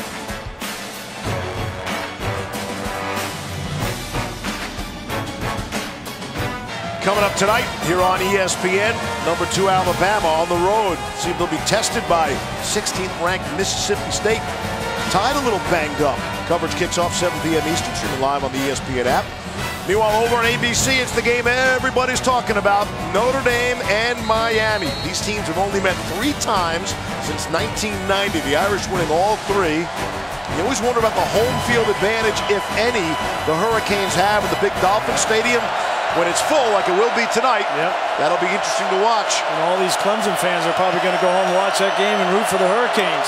Might see you down the road, at a later date, like in the ACC championship game. Trying to go back shoulder, and Trayvon Mullen on the coverage, and maybe a little too good on the coverage. Flag flies. Could be some pass interference. It was Mullen on Keith Gavin. Pass interference, defense number one, 15-yard penalty, first down. Trayvon Mullen did two out of three three things right. He's in good position and he's looking back for the ball, gets his hand on the ball. But the one thing he didn't do well is he didn't get the other hand off the receiver, and that's too much contact there from a DB.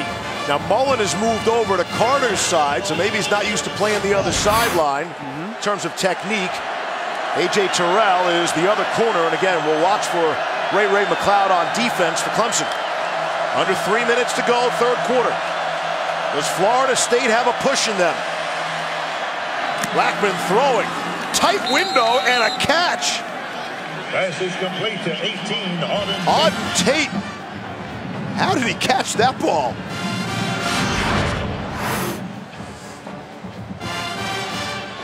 That- that's a big league coverage throw, too. It's a good good coverage there by Terrell too.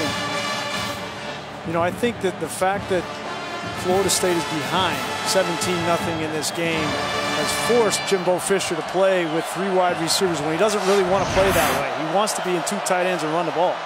Second and two on the ground of Patrick. Barely got back to the line of scrimmage. Christian Wilkins was there to greet him. You know, Jimbo is he's a he's a pro style offense, and I think people forget that he wants to play with two tight ends. He wants a physical back. He wants to run the stretch, counter, and power inside, and then to make it off of it. Uh, but because of the fact that they're behind 17 nothing, uh, he's been forced into this passing situation with a young quarterback. See, Jimbo was trying to hide, I think, from our cameras. Hiding behind the cardboard. Fortunately, we have an extra camera or two. Here's third and two.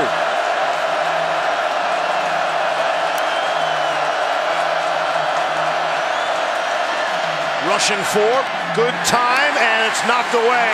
Trayvon Mullen. I was going to say excellent defense, but maybe not. Flag comes in late. Again, covering Keith Gavin.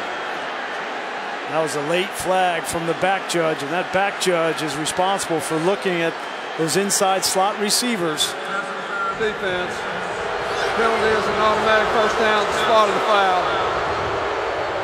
And that back judge sees the arm. Trayvon Mullen hooks the arm around the outside of Gavin. And that's what he saw and the reason he threw the flag. Brian Platt is our back judge. Florida State moves across midfield for the second time in the game. Keep an eye on number 70, Cole Minshew, the right guard. He got up limping, really struggling even to get in and out of the huddle.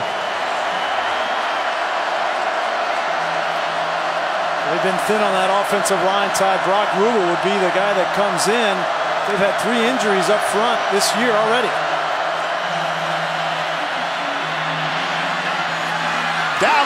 The middle of Philly, it's caught.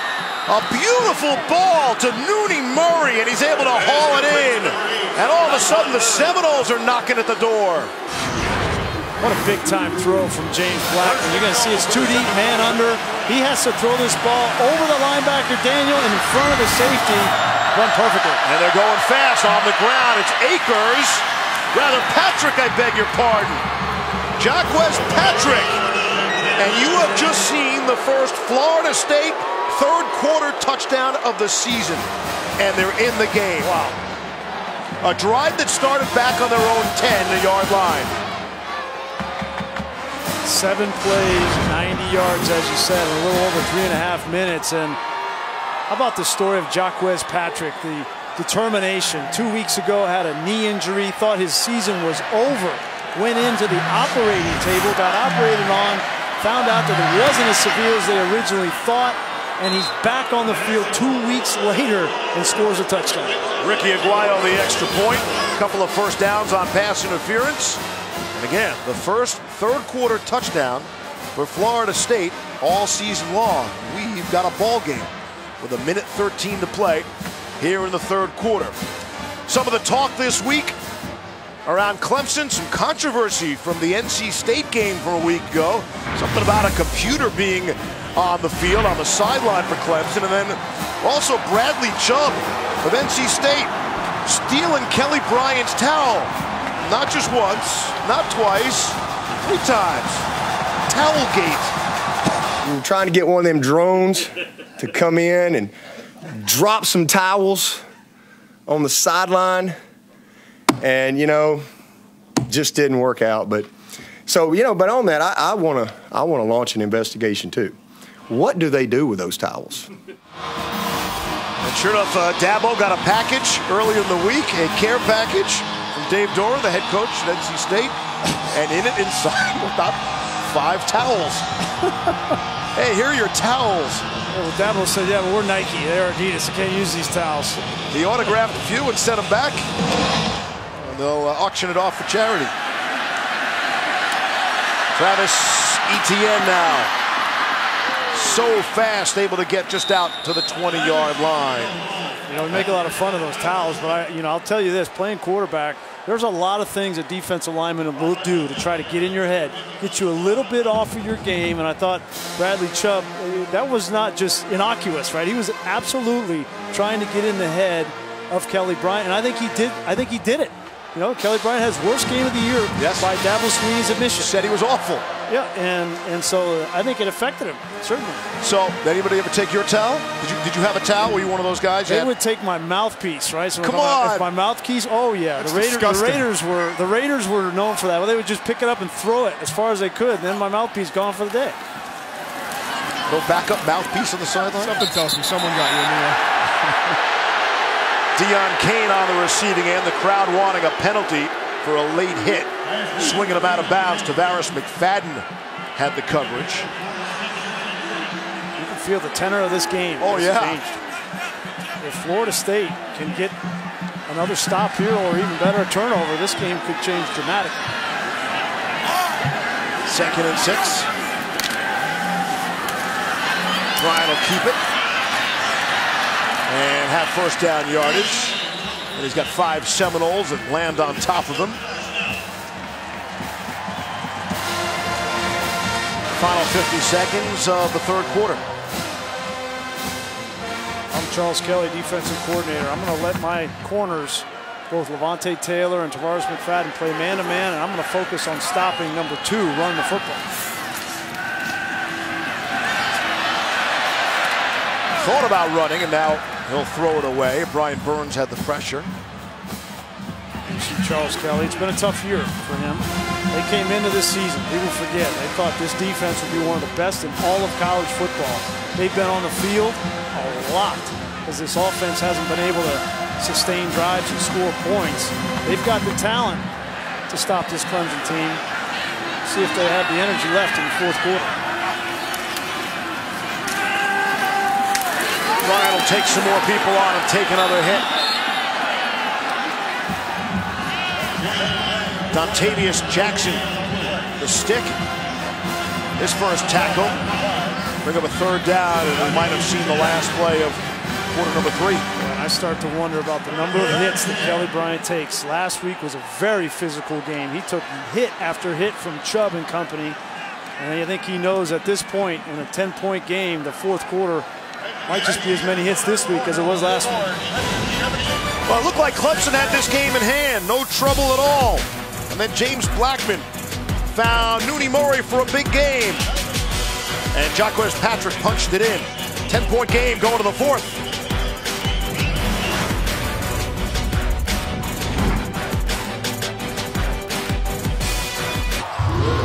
With producer Josh Hoffman, director Mike Schwab, Steve Levy, Brian Griese, Todd McShay, as we open up quarter number four.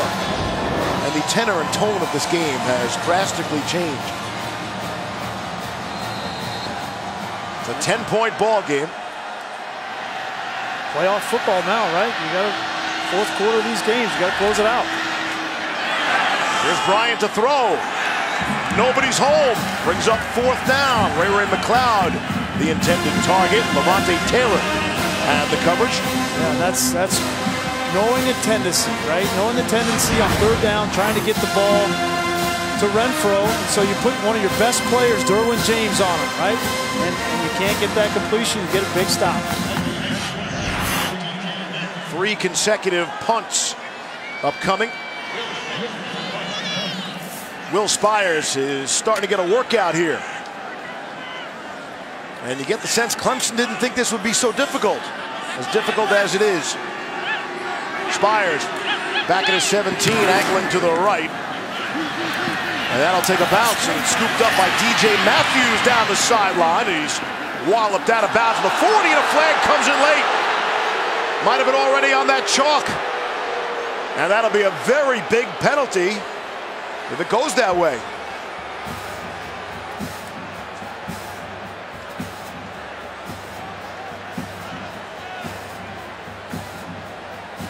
Lot of conversation for a late hit. Yeah, you, you guys, you guys can see the replay live, just down here on the field. It, it looked like his momentum was already carrying him.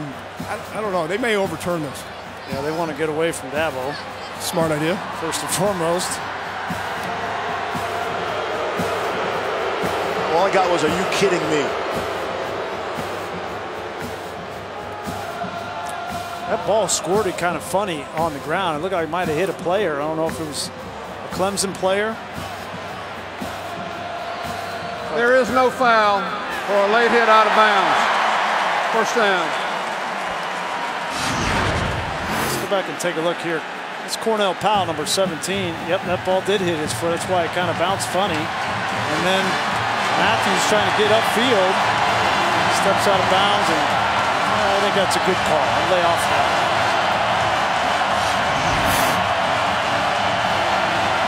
So here we go.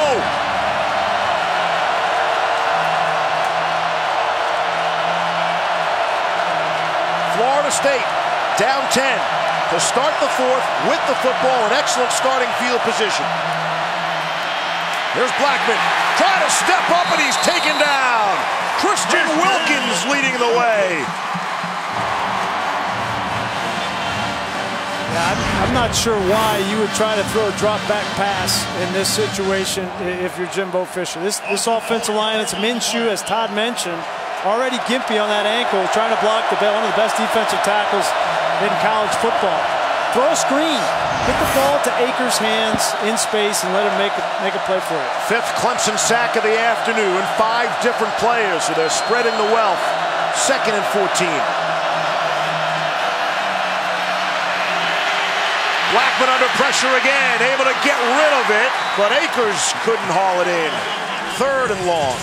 That was a screen play there, Steve, right? It's trying to throw the screen. The problem is when you get in long yardage situations, defensive linemen know that. So you teach a defensive line to keep the back in. On first down, it makes more sense. When you get in long yardage, it's almost impossible. Chad Smith had the hit on Blackman that time. James Blackman's going to feel this game for a while, Maybe in the next week. Third and 14.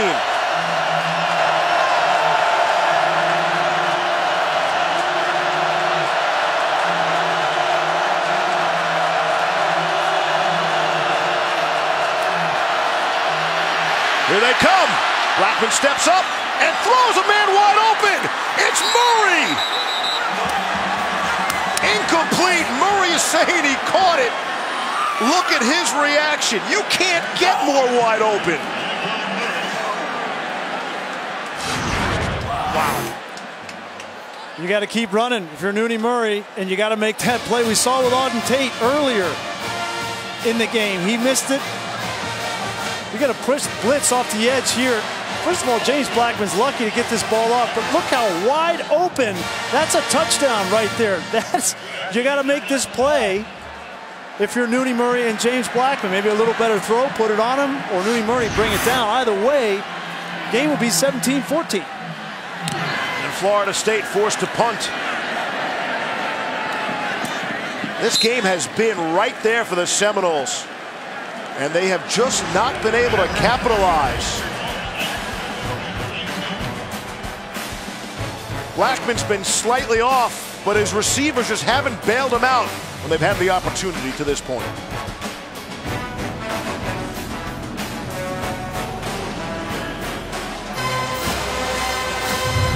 I'm not saying Florida State should be leading this game, but they could be much closer. Absolutely, they could. There was inches, a game of inches. We had the Thomas opportunity to pick up this fumble early in the game. If he picks this up, there's nobody left. He could run for a touchdown. Auden Tate was another one. Close could have been a touch on that last Nooney Murray play. On first down. It's Etienne, the ball carrier. Very close to the first down marker. And here's the Nooney Murray play one more time. I mean, just a game of inches. A little bit uh, shorter throw. A lot of times a guy's wide open like that. Young quarterback, instead of trying to make the perfect throw in stride, take a little bit off and just secure the catch for your receiver. And that was a sure touchdown if they make the completion. There was nobody near him. Back to Adnan Virk.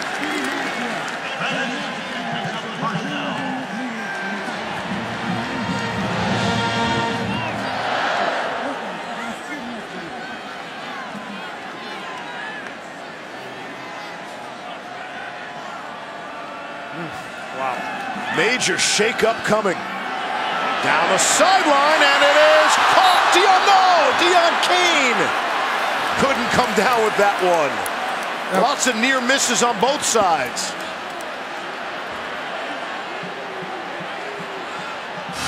I was about to say right before that play, I wonder if they're going to stay aggressive with Bryant struggling throwing the ball. There he makes the perfect throw. Cain's wide open, and Cain is he's fought the ball for as good as he is getting open and the speed that he has. He has fought the ball a little bit this year.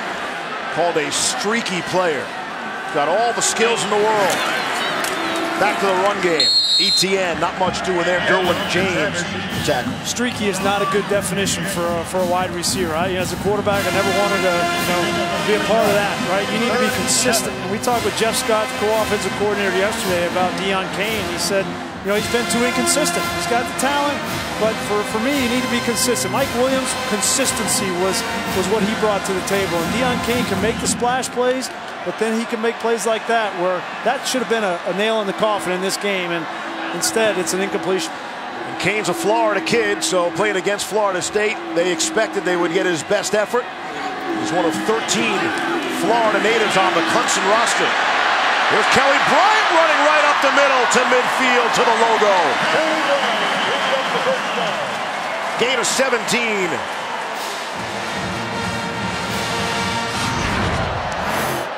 Great job by Etienne helping out his quarterback. You can't play Kelly Bryant without a without a, a spy in the middle of the field. There was no linebacker left for Bryant once he got through the line of scrimmage.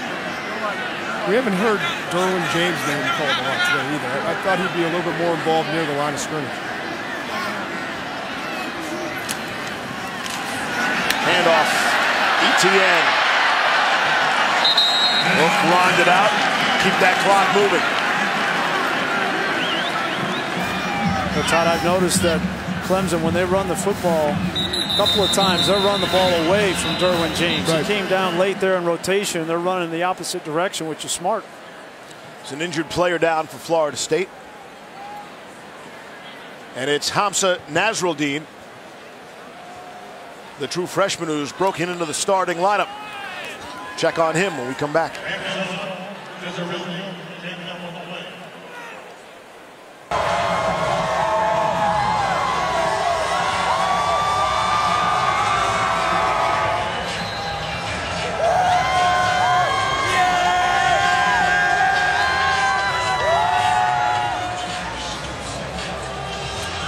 Adnan, thank you.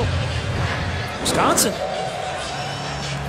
They have not beaten a ranked team all season long. Here's their opportunity today.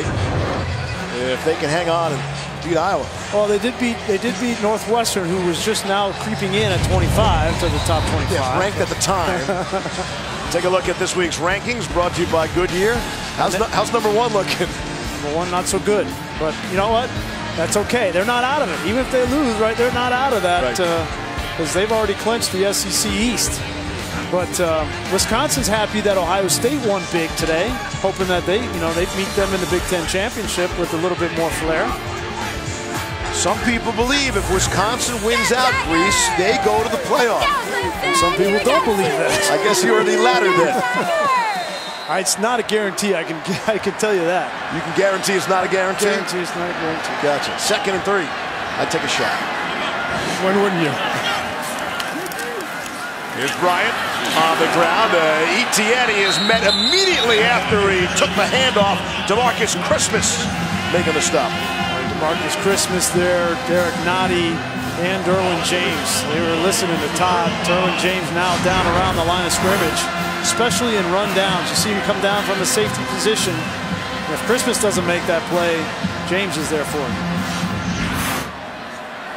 Now in this situation, third down, I'm putting Derwin James all over Hunter Renfrow. I'll find Hunter Renfrow. Now they've got Samuels, the true freshman, on him, which makes no sense to me.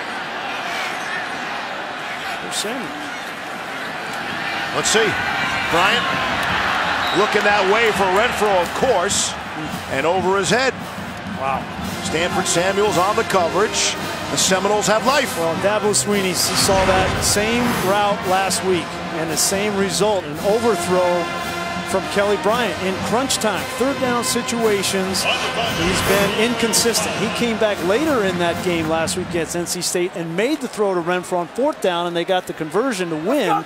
But he needs to be more consistent in that situation. All of a sudden, Clemson's offense has gone dry. Spiers on to punt. DJ Matthews will call for the fair catch at the 15-yard line. We talked at halftime about Jimbo Fisher making some adjustments against this pass rush for Clemson. Keep it tight end and get a chip on your way out. You got to give Blackman an opportunity to see the field, step into a throw, and if you do, he can make these throws. Tight sets by Izzo. Patrick chipping his way out. Great job there. Gives the pocket to Blackman. This was the big throw to Murray that led to the only touchdown of the game for Florida State. I expect them to continue to do this as the fourth quarter winds on. Backed up at the 15.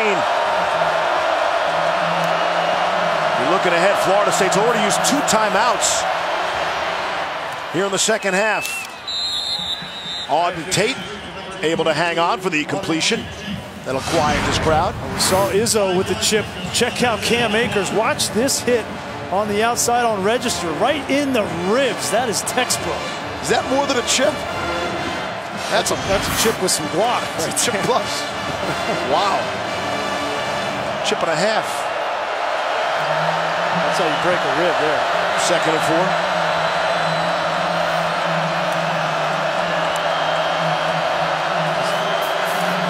Here they come right up the middle. Blackman able to get it out to Akers. Got some running room.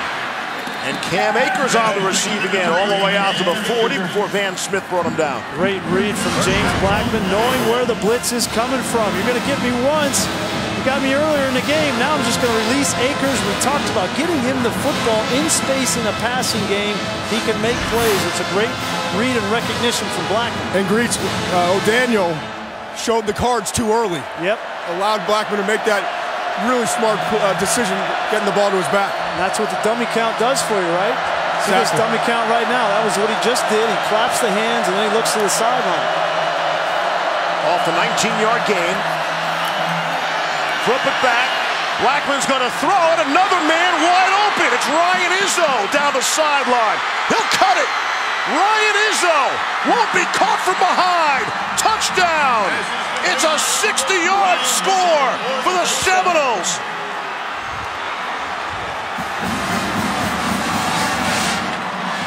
Wow. You got the sense from Jimbo Fisher. They get the sense they get a first down with Cam Akers, and then once they get out of the shadow of their own end zone, they take a shot with a trick play, and they lose sight of the big tight end Izzo, who's been quiet tonight. He's been mostly used as a blocker, and he makes one cut and finishes, and this is a ball game. Here's Ricky Aguayo. On for the extra point, and it is good. First catch today for Ryan Izzo, and it's big. Don't look now. We got a three-point game.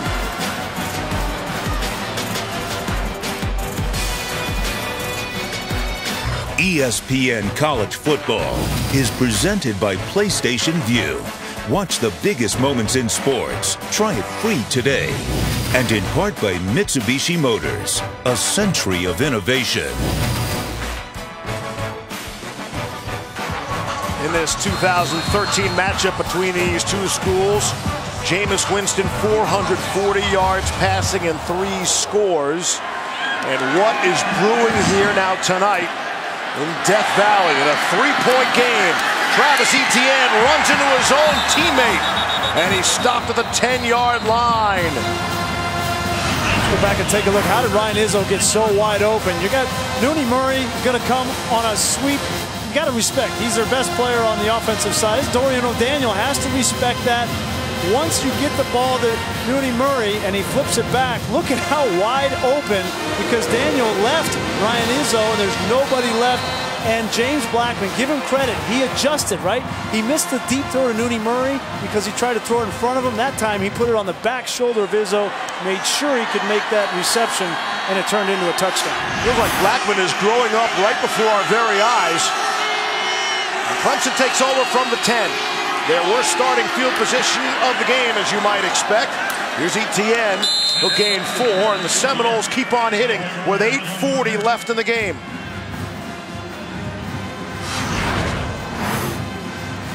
Now you see James Blackman on the sideline, right? And everybody giving him a pat on the back. He's hung in there. He, I mean, I haven't seen a quarterback get hit like he got hit in the first quarter. And for him to still be in this game and throwing shots down the field, it's credit to him. Bryant to throw, and it is caught. Deon Cain makes the catch. Knocked out of bounds. That last, the coverage. that last touchdown, Steve. All the pressure now squarely back on the shoulders of Kelly Bryant and Clemson, right? This is this is their playoff game, right? They're in the national title hunt. And now all the pressure back on them to get some first down. The pitch to Etienne. Got a few. Again, it's McFadden and James who come up there.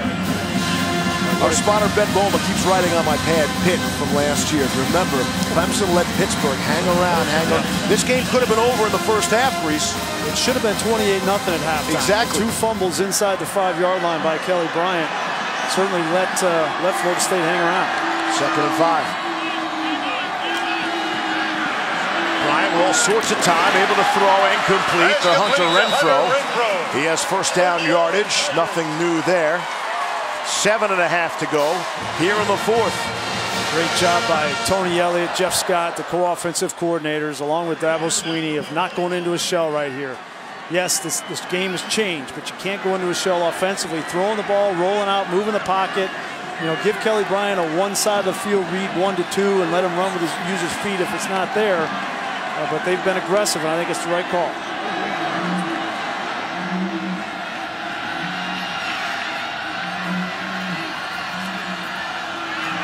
Bryant in the face of pressure. Could not connect on the back shoulder throw. Matthew Thomas was in his face. I just think back to talking to Dabo about last week and how Kelly Bryant played the worst game of his career, but he showed him something, and he grew up at the end of that game, and maybe having some confidence in him, knowing that, hey, he hasn't had the best game tonight either, but knowing that he can deliver in the fourth quarter when the game's on the line. And on the other side, as Jimbo Fisher told us, they have not gotten stops by their defense to win these kind of games. They've been in last possession games seemingly every week, other than the Boston College game. That ball comes out. Roderick Hoskins knocked it free from Kelly Bryant. Kelly Bryant had And it's Derwin James who comes away with the football. Seminoles have it. Three with 6.46 to play. Florida State came into this game with only six turnovers. That's their third one of this game. Rod or Derek Hoskins, give him credit. Josh Sweat was in there as well. There was three Clemson offensive linemen right there with an opportunity to get the ball. And Derwin James, look at him, he comes in late. And the fight and scratch and claw to get that football with a game-changing turnover for Florida State. So here we go. Call your friends. Text your relatives. Number four could be in some trouble here at home. Here's Blackman throwing forth down the middle, intercepted. It's picked off by Van Smith. Van Smith down the sideline across midfield. Back-to-back turnovers.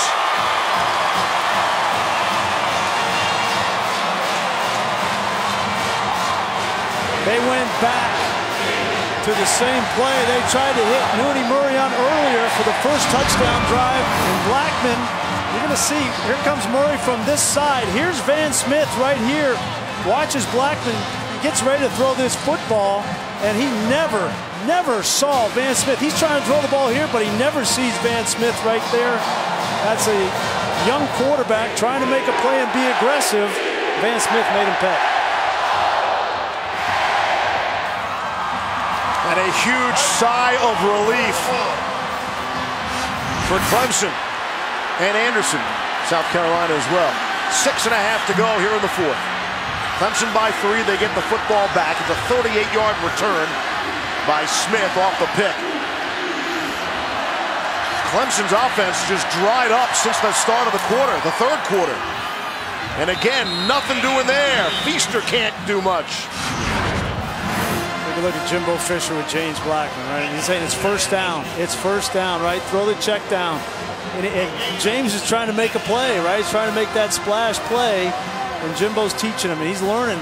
He should be learning as a backup quarterback to Deondre Francois, but he's learning in a big stage like this on the road. And he's saying, I thought I had him open. I never saw him. Just doesn't have the reps. So check it down if you're not absolutely sure. Off the quick change, also the turnover the play before. Second down and 10. Bryant rolling to his left and completing the Hunter Renfrow. He's got the first down, same old story.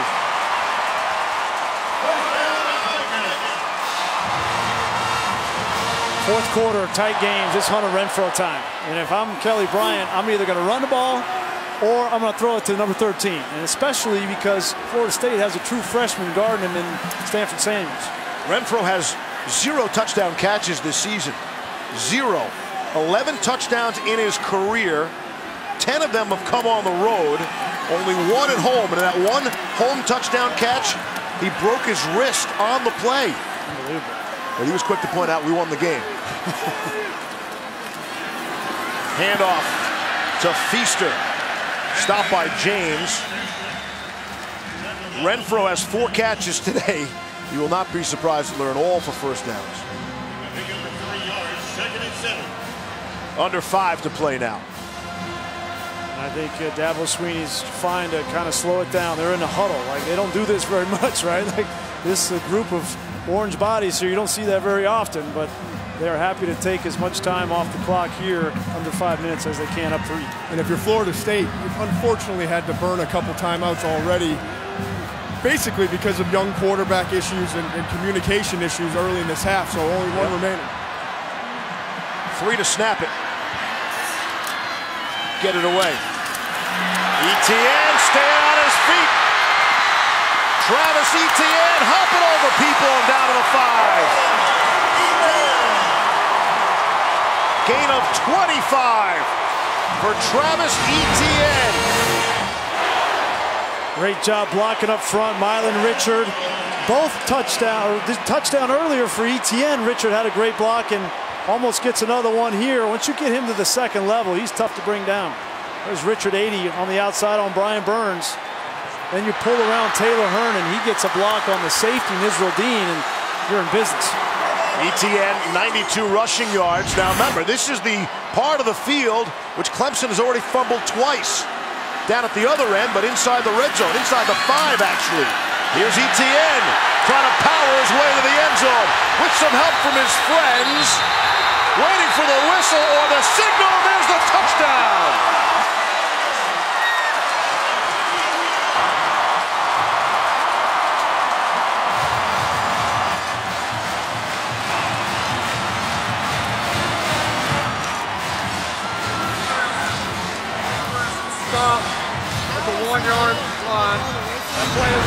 Under.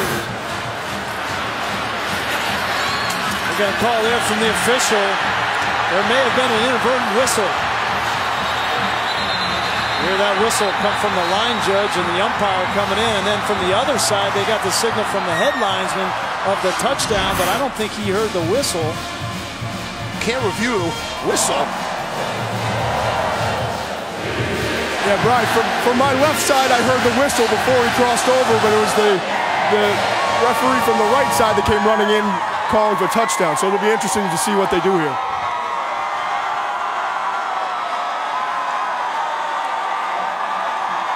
There was no chance he was down. So this will be interesting.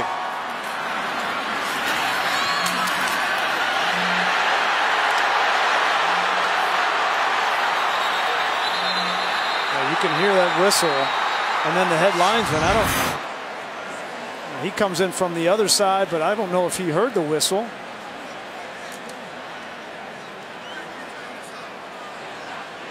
At The review booth heard that whistle and put it at the one yard line. Forward progress was ruled on the field at the one half yard line. Therefore, the, the second down, one half yard line. Saying progress is stopped at the one yard line, except for one official who signaled touchdown. Wow.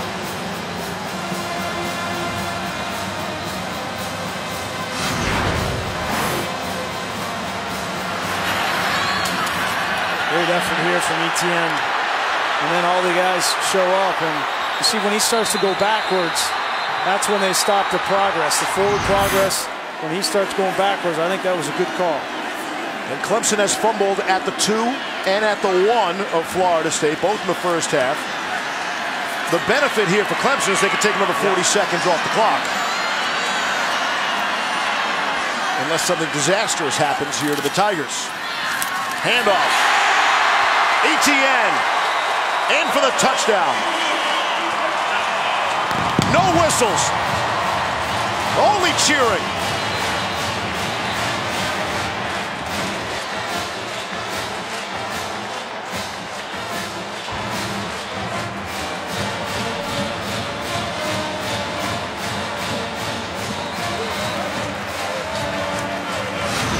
Great job by Etienne finishing this drive off. The mistake by James Blackman. Van Smith makes him pay after Kelly Bryant puts the ball on the ground. and Extra point on the way. It is good. Respond to the pressure, right? Number four gets a little scare and come back, respond to it. Huge sigh of relief here. A little note, we asked for an address. You know what? They gave us the home address. Best news we could have got. That's Yep. a win. Yep. Sam Burke and his family, great news, getting home. Amir Rasul for Florida State. They got one last push left in them. He stumbles out to the 27-yard line. On this Veterans Day, we pay tribute to those who have served and are currently serving, and we are fortunate enough to have these fine veterans all with us on our crew. We all get to show up in some terrific town on a Thursday and leave on a Saturday night or a Sunday. And Frankie and Tom and Phil and Marty and Artie and Joel and, and Jeff are. Thanks to them. Thank you, guys. Not just for Yeah. working, doing a great job on the ESPN football crew, but uh, for the most important job they've ever had. Being who you are. Two of them here in the booth with Yeah. And uh, Joel. How lucky are we? Three minutes to go. Blackman trying to get out of it. And he'll lean forward for a yard. Chad Smith will fall on top of him. Under three minutes to play. And again, Florida State, they have just one timeout left. You see Deondre Francois back there behind Jimbo Fisher. You just wonder all of the learning that's happened for James Blackman this game. If Deondre Francois were playing this game, how different it might be. Second and nine. Incomplete. Led his receiver just too far. There was some news coming out of Florida State this past week. Remember, they had the game that was canceled, and then it made it postponed. They're going to play on December the 2nd. They'll play Louisiana Monroe. That was postponed due to Hurricane Irma. Jimbo said his guys are guaranteed a 12th game. Why shouldn't they play a 12th game? I, I agree. They should play that 12th game. I know there's a lot of cynics out there that think it's just so that they can have the potential to get to a bowl game, but it was on the schedule at the beginning of the year. If Yes. they can do it, why wouldn't they? Chance of the sixth victory of the season. They'll have to win their final three. Nearly intercepted. That ball was knocked away.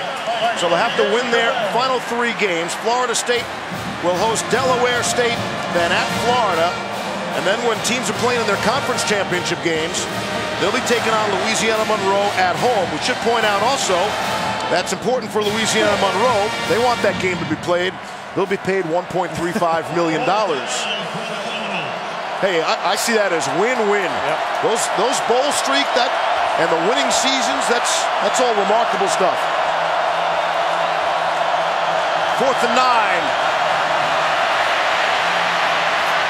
Blackman thrown on the run. And Erman Lane could not bring it in. Too many missed plays by the Florida receiving core, I think, could have bailed out their quarterback I think today. Trayvon Mullen got a hand in here. I mean, he's he's sticking on the receiver. That's a great job by Mullen. He's had to step up with the injuries to Fields, Marcus Edmond, and he's played a whale of a game. Then they then they lose Ryan Carter in this game, so he's the only guy left at the corner position with any kind of experience. He's played a whale of a game tonight.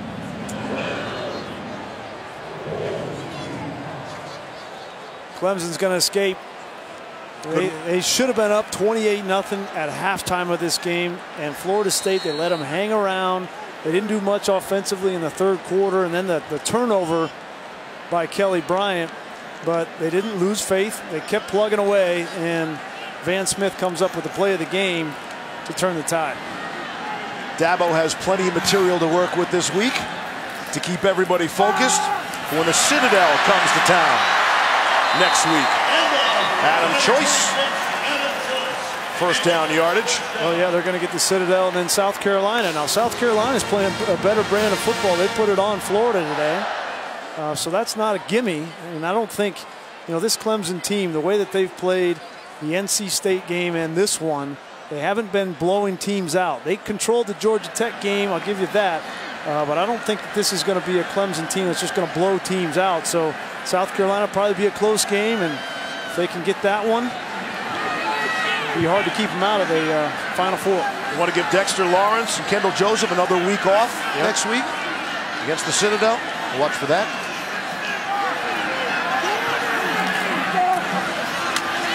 It's Choice again, down to the 10. Tonight, after championship boxing, Kirk Herbstreit will break down the impact of everything that's happened on the college football playoff rankings. Interesting look. Number one looks like they're going to go down. What does that mean for Clemson? We'll have the Heisman race update, recap all the NBA action, also streaming on the ESPN app. That's Sports Center coming up tonight after championship boxing. Well, Auburn is still alive. With two losses, there's no question about that. Sets up quite the uh, Iron Bowl coming up in a couple weeks. Wait, wait, so a two-loss team can get in the playoff? Absolutely, Oh. if it's named Auburn. Okay.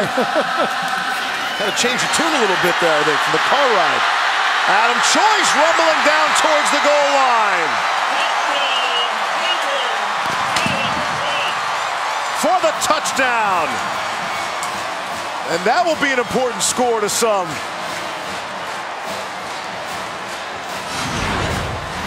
Not only to some, I think to everybody, right? You got to win, but you also have to win convincingly because Clemson, right? They're battling the Oklahomas, they're battling the Notre Dames, right? Uh, they're battling the Miamis, the TCUs, the Wisconsin. So uh, they've got to win and, and, win impressively, and uh, Dabo Swinney knows that one will help. Thought margin of victory wasn't supposed to be a factor anymore. But the eye test. Yes, they are human beings, not computers. This was uh, much closer than the score will look. Two touchdowns in two and a half minutes. Clemson are going to walk away with lots of confidence. But this was, you know, I know Florida State and Tallahassee, they don't want to have moral victories. They feel like, uh, you know, they're a program that thinks about championships and they want to be back on top. But this is another one of those games, right? Three losses by six points or less. This is go down, you know, not by the final score, but we know this was much closer, and Florida State probably deserved a better fate here. Yeah, well, and I think what you're learning now about Clemson is they're not just going to completely dominate teams. And as you as you look forward, if they're able to get by South Carolina and they're able to win the ACC championship, I think the thing they need to improve on is throwing the football. You remember the national championship game? Yeah. Deshaun Watson and Mike Williams put on a show. Over 400 yards passing for Deshaun Watson and three touchdowns. Mike Williams had eight catches for 94 yards and a touchdown. We have not seen that from Kelly Bryant and Deon Cain, right? You got Hunter Renfrow, great possession receiver, but to me, that's the difference between last year's team at Clemson and this year's team, and, and it, they are not a lock to go into that, uh, that playoff and, and do that. So some warts on these Tigers and other people around the country certainly will notice. And, Dabo can enjoy this. They're wearing their orange breeches, as they say. They will get a, a trophy after this game for winning the Atlantic Division. Amir Rasul from the 20 out to the 30. And clearly better days are ahead for the Seminoles. They continue to go through the growing pains. And this was a, you know, this was a big step here today, I think. Well, they've been close all year. They've been close. They just have to believe, right, in the fourth quarter. And uh, James Blackman played a physical game. He got knocked around, hit, knocked down, and he got up, kept getting up. He made one mistake in the second half, and that's what the difference is. It killed him. Final half minute to play.